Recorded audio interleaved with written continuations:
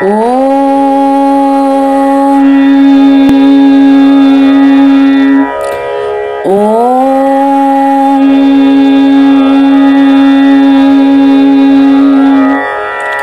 ॐ सहनावतु सहनौ भुनक्तु सह वीर्यं करवावहै तेजस्विनावधीतमस्तु मा विद्विषावहै।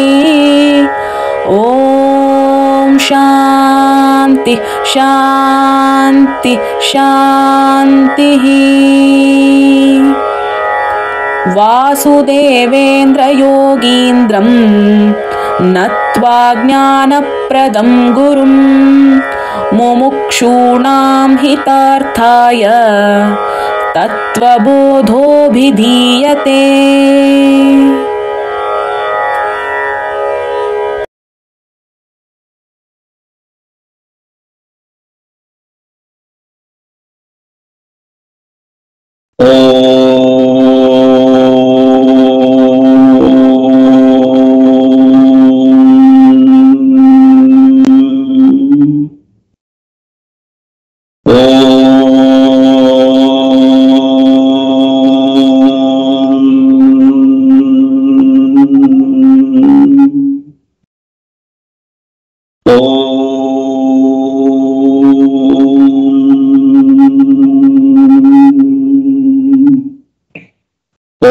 ॐ सहनाववतु सहनौ भुनक्तु सह वीर्यं करवावहै, तेजस्विनावधीतमस्तु मा विद्विषावहै। ॐ शान्ति शान्ति, शान्तिः। सदाशिवसमारम्भां, शङ्कराचार्यमध्यमाम्, अस्मदाचार्यपर्यन्तां, वंदे गुरुपरम्परां वंदे गुरुपरम्पराम्। यस्यान्तानादिमद्यं न हि करचरणं नाम गोत्रं न सूत्रं नो जातिर्नैव वर्णानुभवति पुरुषो मानपुंसं न च स्त्रीनाकारं नाविकारं न हि जननिमरणं नास्ति पुण्यं न पापं नो तत्त्वं तत्त्वमेकं साजसमरसं सद्गुरुं त्वं नमामि ಸದ್ಗುರುಂ ತ್ವಂ ನಮಾಮಿ ಸನಾತನ ಧರ್ಮ ಶಂಕರಾಚಾರ್ಯರು ಮತ್ತು ನನ್ನ ಎಲ್ಲ ಗುರುಗಳಿಗೂ ನಮಸ್ಕಾರ ಮಾಡ್ತಾ ಇವತ್ತಿನ ತತ್ವಬೋಧ ತರಗತಿಗೆ ನಿಮ್ಗೆಲ್ಲರಿಗೂ ಆಹ್ವಾನ ಸ್ವಾಗತ.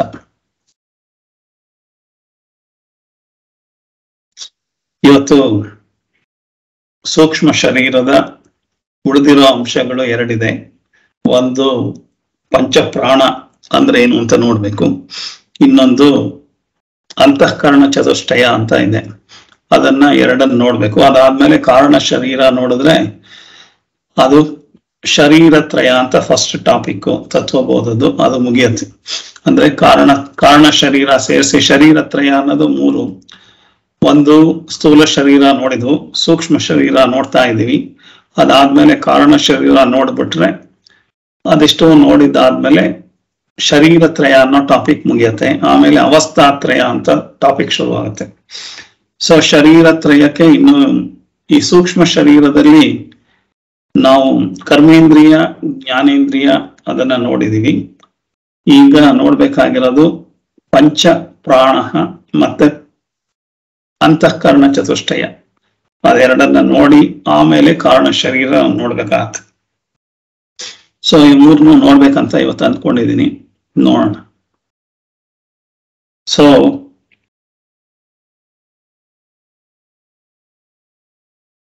ತತ್ವಬೋಧದ ಮಂಗಳಾಚರಣೆ ಶ್ಲೋಕ ಹೇಳಿ ಶುರು ಮಾಡೋಣ? ಸಾರಿ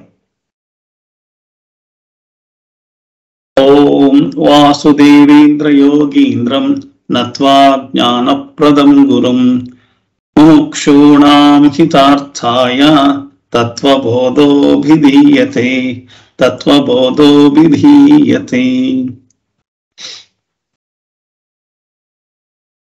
ಆಮೇಲೆ ಈ ಅವಸ್ಥಾತ್ರಯದ್ದು ಒಂದ್ಸಲ ನೋಡ್ಬಿಡೋಣ. ಅವಸ್ಥಾತ್ರಯದ್ದು ಏನ್ ಹೇಳಿದೆ ಶ್ಲೋಕಗಳು?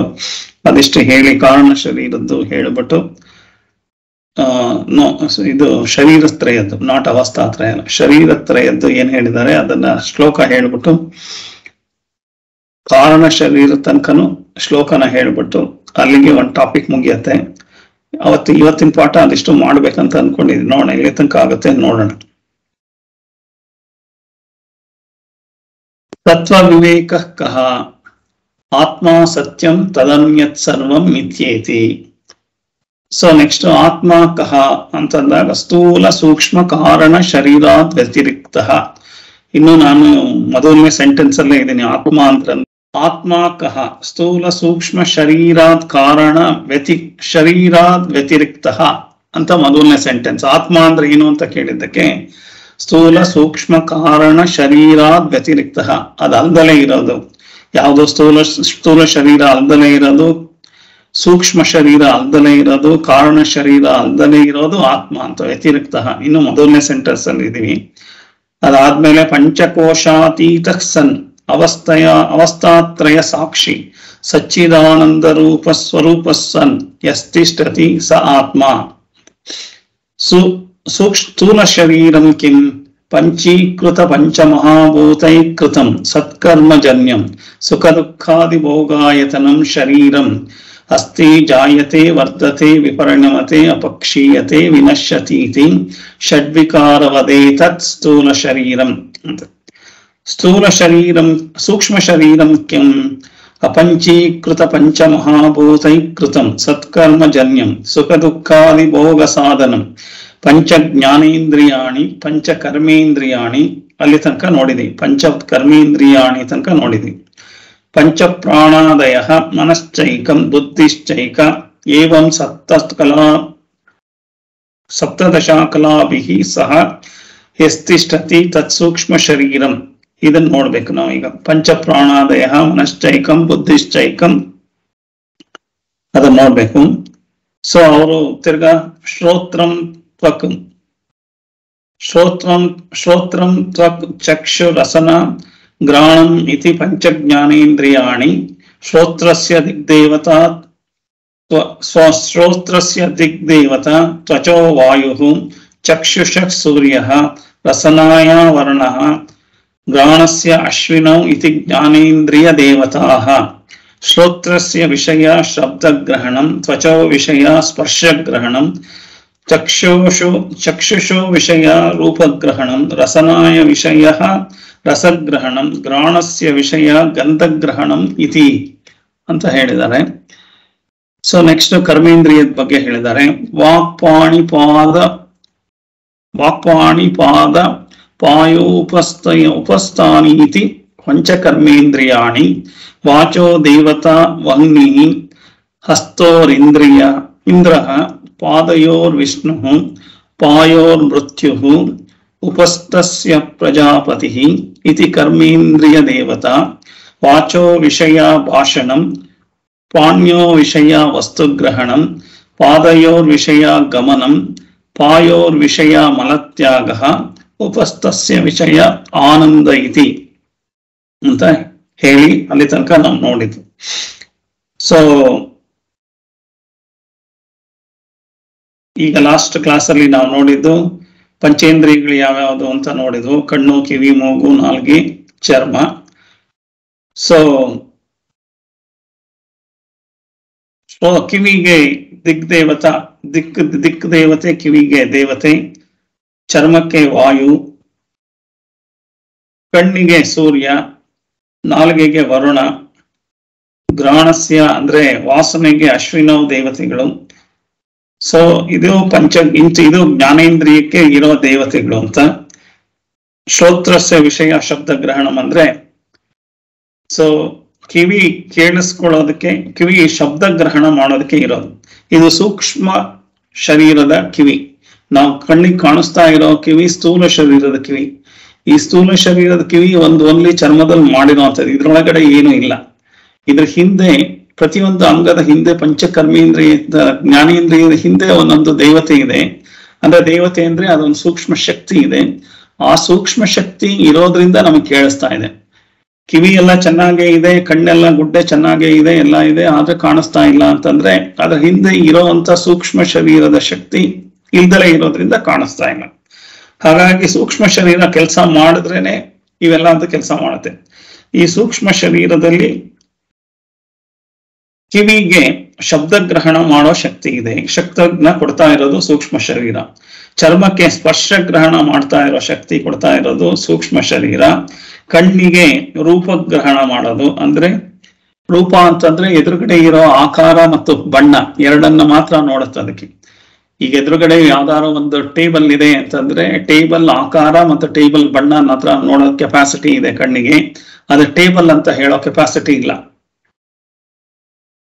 ರಸನಾಯ ವಿಷಯ ರಸಗ್ರಹಣ. ಅಂದ್ರೆ ನಾಲ್ಗೆಗೆ ಈ ಟೇಸ್ಟ್ ನೋಡುವಂತ ಕೆಪಾಸಿಟಿ ಸೂಕ್ಷ್ಮ ಶರೀರದಿಂದ ಬಂದಿರೋದು.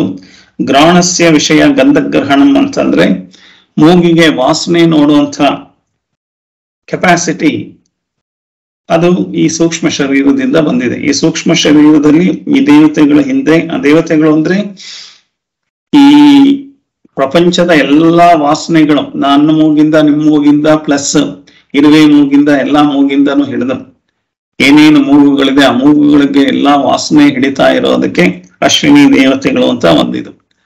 ಆ ಅಶ್ವಿನಿ ದೇವತೆಗಳು ಸೂಕ್ಷ್ಮ ಶರೀರದ ವಾಸನೆ ಗ್ರಹಣೆ ಮಾಡೋದಕ್ಕೆ ಇರೋವಂತ ದೇವತೆಗಳು ಅಂದ್ರೆ ಆ ಶಕ್ತಿಗೆಲ್ಲ ಈ ಇಸ್ ದ ಮಿನಿಸ್ಟರ್ ಅನ್ನತಾರೆ ಸೊ ಆ ಮಿನಿಸ್ಟರ್ ಕೆಲಸ ಮಾಡಿದ್ರೆ ಮಾತ್ರ ಅದು ವಾಸನೆ ನಮ್ಗೆ ಇದಾಗುತ್ತೆ. ನಮ್ದು ನಮ್ ಕರ್ಮಾನುಸಾರ ನಮ್ ವಾಸನೆ ಅಶ್ವಿನಿ ದೇವತೆ ನಮ್ಮ ಜೊತೆ ಇರ್ಬೇಕಾ ಬೇಡವಾ ಅಂತ ಯೋಚನೆ ಮಾಡುವಂತ ಕೆಪಾಸಿಟಿ ಅವ್ರಿಗಿರೋದು.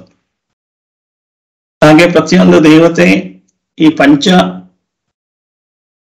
ಸೂಕ್ಷ್ಮ ಪಂಚ ಜ್ಞಾನೇಂದ್ರಿಯದ ಹಿಂದೆ ಸೂಕ್ಷ್ಮ ಶಕ್ತಿಯಾಗಿ ಅಲ್ಲಿದ್ರೆ ಆಗತ್ತೆ. ಕಣ್ ಕಾಣಿಸ್, ಕಣ್ಣಿದೆಯಲ್ಲ ಸರ್ ಗುಡ್ಡೆ ಕಾಣಿಸ್ತಾ ಇಲ್ವಲ್ಲ ಅಂತಂದ್ರೆ ಹಾಗೆ ಯಾತ್ರ ಯಾವುದು ಕಾಣೋದಿಲ್ಲ. ಯಾಕೆಂದ್ರೆ ಸತ್ತ ಹೆಣದಲ್ಲಿ, ಸತ್ತ ದೇಹದಲ್ಲಿ ಎಲ್ಲಾ ಅಂಗಗಳು ಇರುತ್ತೆ. ಕಣ್ಣು ಈಗ ತಾನೇ ಹಾರ್ಟ್ ಫೇಲ್ಯೂರ್ ಆಗಿದೆಯಪ್ಪ ಅಂತಂದ್ರೆ ಎಲ್ಲ ಆರೋಗ್ಯ ಚೆನ್ನಾಗೇ ಇತ್ತು, ಎಲ್ಲ ಇದೆ. ಕಣ್ಣು ಸತ್ತ ತಕ್ಷಣನೇ ಸೂಕ್ಷ್ಮ ಶರೀರ ಆಲ್ರೆಡಿ ಖಾಲಿ. ಕಣ್ಣು ಎದುರುಗಡೆ ಇದ್ರು ಏನು ಕಾಣಿಸ್ತಾ ಇಲ್ಲ. ನಾಲ್ಗೆ ಇದ್ರೆ ಮಾತಾಡಕ್ ಆಗ್ತಾ ಇಲ್ಲ ಟೇಸ್ಟ್ ನೋಡಕ್ ಆಗ್ತಾ ಇಲ್ಲ. ಚರ್ಮ ಮುಟ್ ನೋಡಿದ್ರು ಅವ್ರು ಯಾರು ಮುಟ್ತಾ ಇದ್ದಾರೆ ಅಂತ ಹೇಳಕ್ ಆಗಲ್ಲ. ಏನು ಸೂಕ್ಷ್ಮ ಶರೀರ ಅಲ್ಲಿಂದ ಖಾಲಿ ಮಾಡ್ತು, ಜಾಗ ಖಾಲಿ ಮಾಡ್ತು ಅಂತಿದ್ದ ಹಾಗೇನೆ ನೆಕ್ಸ್ಟ್ ಮಿನಿಟ್ ಅಲ್ಲೇನೆ ನೆಕ್ಸ್ಟ್ ಸೆಕೆಂಡ್ ಅಲ್ಲೇನೆ ಏನು ಇಲ್ಲ. ಆದ್ರೆ ಸ್ಥೂಲ ಶರೀರದಲ್ಲಿ ಇರಬೇಕಾಗಿರೋ ಅಂಗಗಳೆಲ್ಲ ಅಲ್ಲೇ ಇದೆ. ಕಣ್ಣಿದೆ, ಕಣ್ಗುಡ್ಡೆ ಇದೆ, ಕಿವಿ ಇದೆ, ಕಿವಿ ಹಿಂದೆ ಡ್ರಮ್ಮು ಎಲ್ಲಾವುದು ಇದೆ. ಏನೇನ್ ನರ್ವ್ಸ್ ಹೇಳ್ತಾ ಇದಾರೆ ಅದೆಲ್ಲದು ಇದೆ. ಎಲ್ಲಾವುದು ಇದ್ರು ಯಾಕೆ ಕೇಳಿಸ್ತಾ ಕಣ್ಣಲ್ಲಿ, ನಾಲ್ಗೈನಲ್ಲಿ ಎಲ್ಲಾವುದು ಇದೆ. ನಾಲ್ಗೆನಲ್ಲಿ ಟೇಸ್ಟ್ ಬಡ್ ಇದೆ. ನಾಲ್ಗೆಗೂ ಎಲ್ಲ ನರ್ವ್ಸ್ ಎಲ್ಲ ಇದೆ. ಬ್ಲಡ್ ಸರ್ಕ್ಯುಲೇಷನ್ ಆಗ್ತಾ ಇದ್ದಿದ್ದ ನರ್ವ್ಗಳು ಎಲ್ಲಾವುದು ಇದೆ. ಆಗ್ತಾ ಕೇಳ ಕಾಣಿಸ್ತಾ ಇಲ್ವೇ? ನಾಲ್ಗೆ ಎಳೆದ್ಬಿಟ್ಟು ಅದ್ರ ಮೇಲೆ ಸಕ್ಕರೆ ಹಾಕಿದ್ರೆ ಟೇಸ್ಟ್ ಹೇಳು ಅಂತ ಹೇಳುತ್ತಾ ಅದು ಹೇಳಕ್ ಆಗಲ್ಲ ಅದಕ್ಕೆ. ಅಂದ್ರೆ ಯಾಕೆಂದ್ರೆ ಸೂಕ್ಷ್ಮ ಶರೀರ ಜಾಗ ಖಾಲಿ ಮಾಡಿದೆ ಅಂತಂದ್ರೆ ಸೂಕ್ಷ್ಮ ಶರೀರ ಸ್ಥೂಲ ಶರೀರ ಜೊತೆಯಿಂದಲೇ ಇದ್ರೆ ಅದನ್ನ ಪ್ರಾಣ ಹೋಯ್ತು ಅಂತ ಹೇಳುವಂತ ವಿಚಾರ. ಪ್ರಾಣ ಹೋಯ್ತು ಅಂತಂದ್ರೆ ಬರೀ ಉಸಿರಾಟ ನಿಂತು ಹೋಯ್ತು ಅಂತ ಅಲ್ಲ. ಸೊ ಈ ಪಂಚಪ್ರಾಣ ಅಂತ ಇವತ್ತೇನ್ ಪಾಠ ಮಾಡ್ತಾ ಇದೀವಿ, ಅದು ಹೋಗ್ಬೇಕು. ಪಂಚ ಪ್ರಾಣಗಳು ಹೋಗ್ಬೇಕು. ಪಂಚ ಪ್ರಾಣಗಳು ಹೋಗ್ತಿದ್ದಾಗ ಈ ಸೂಕ್ಷ್ಮ ಶರೀರದಲ್ಲಿರೋ ಎಲ್ಲ ಪಂಚೇಂದ್ರಿಯಗಳು, ಪಂಚಕರ್ಮೇಂದ್ರಿಯಗಳು, ಇದು ಅಂತಃಕರಣ ಚತುಷ್ಟಯ ಪಂಚಪ್ರಾಣ. ಇದಿಷ್ಟು ಹತ್ತೊಂಬತ್ತು ಏನ್ ಹೇಳ್ತಾ ಇದೀವಿ ಹತ್ತೊಂಬತ್ತು ಜಾಗ ಖಾಲಿ ಮಾಡುತ್ತೆ. ಜಾಗ ಖಾಲಿ ಮಾಡೋದ್ರಿಂದ ಸ್ಥೂಲ ಶರೀರದಲ್ಲಿ ಎಲ್ಲಾ ಅಂಗಗಳು ಇದ್ರುವೆ ಅದರಿಂದ ಏನು ಉಪಯೋಗ ಇಲ್ಲ. ಅಲ್ಲಿ ಮುಗೀತು ಅದ್ರ ಕೆಲಸ ಅಂತ. ಸ್ಥೂಲ ಶರೀರ ಬರೀ ನೋಡಕ್ಕಿರೋದ್ರಿಂದ ಅದನ್ನ ಗೋಲಕಂ ಅಂತ ಕರೆದಿದ್ದಾರೆ. ಆ ಅಂಗಗಳಿಗೆಲ್ಲ ಬರೀ ಗೋಲಕಂ.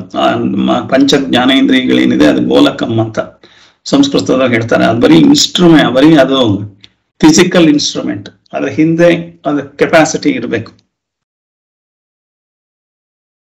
ಸೊ ಅದು ಪಂಚ ಜ್ಞಾನೇಂದ್ರಿಯ ಆದ್ರೆ ಕರ್ಮೇಂದ್ರಿಯಕ್ಕೆ ಏನ್ ಹೇಳಿದ್ದಾರೆ ಅಂತಂದ್ರೆ ವಾಕ್ ಪಾಣಿ ಪಾದ ಪಾಯು ಉಪಸ್ಥಾನಿ ಇತಿ ಪಂಚಕರ್ಮೇಂದ್ರಿಯಾಣಿ ಅಂತ ಹೇಳಿದ್ದಾರೆ.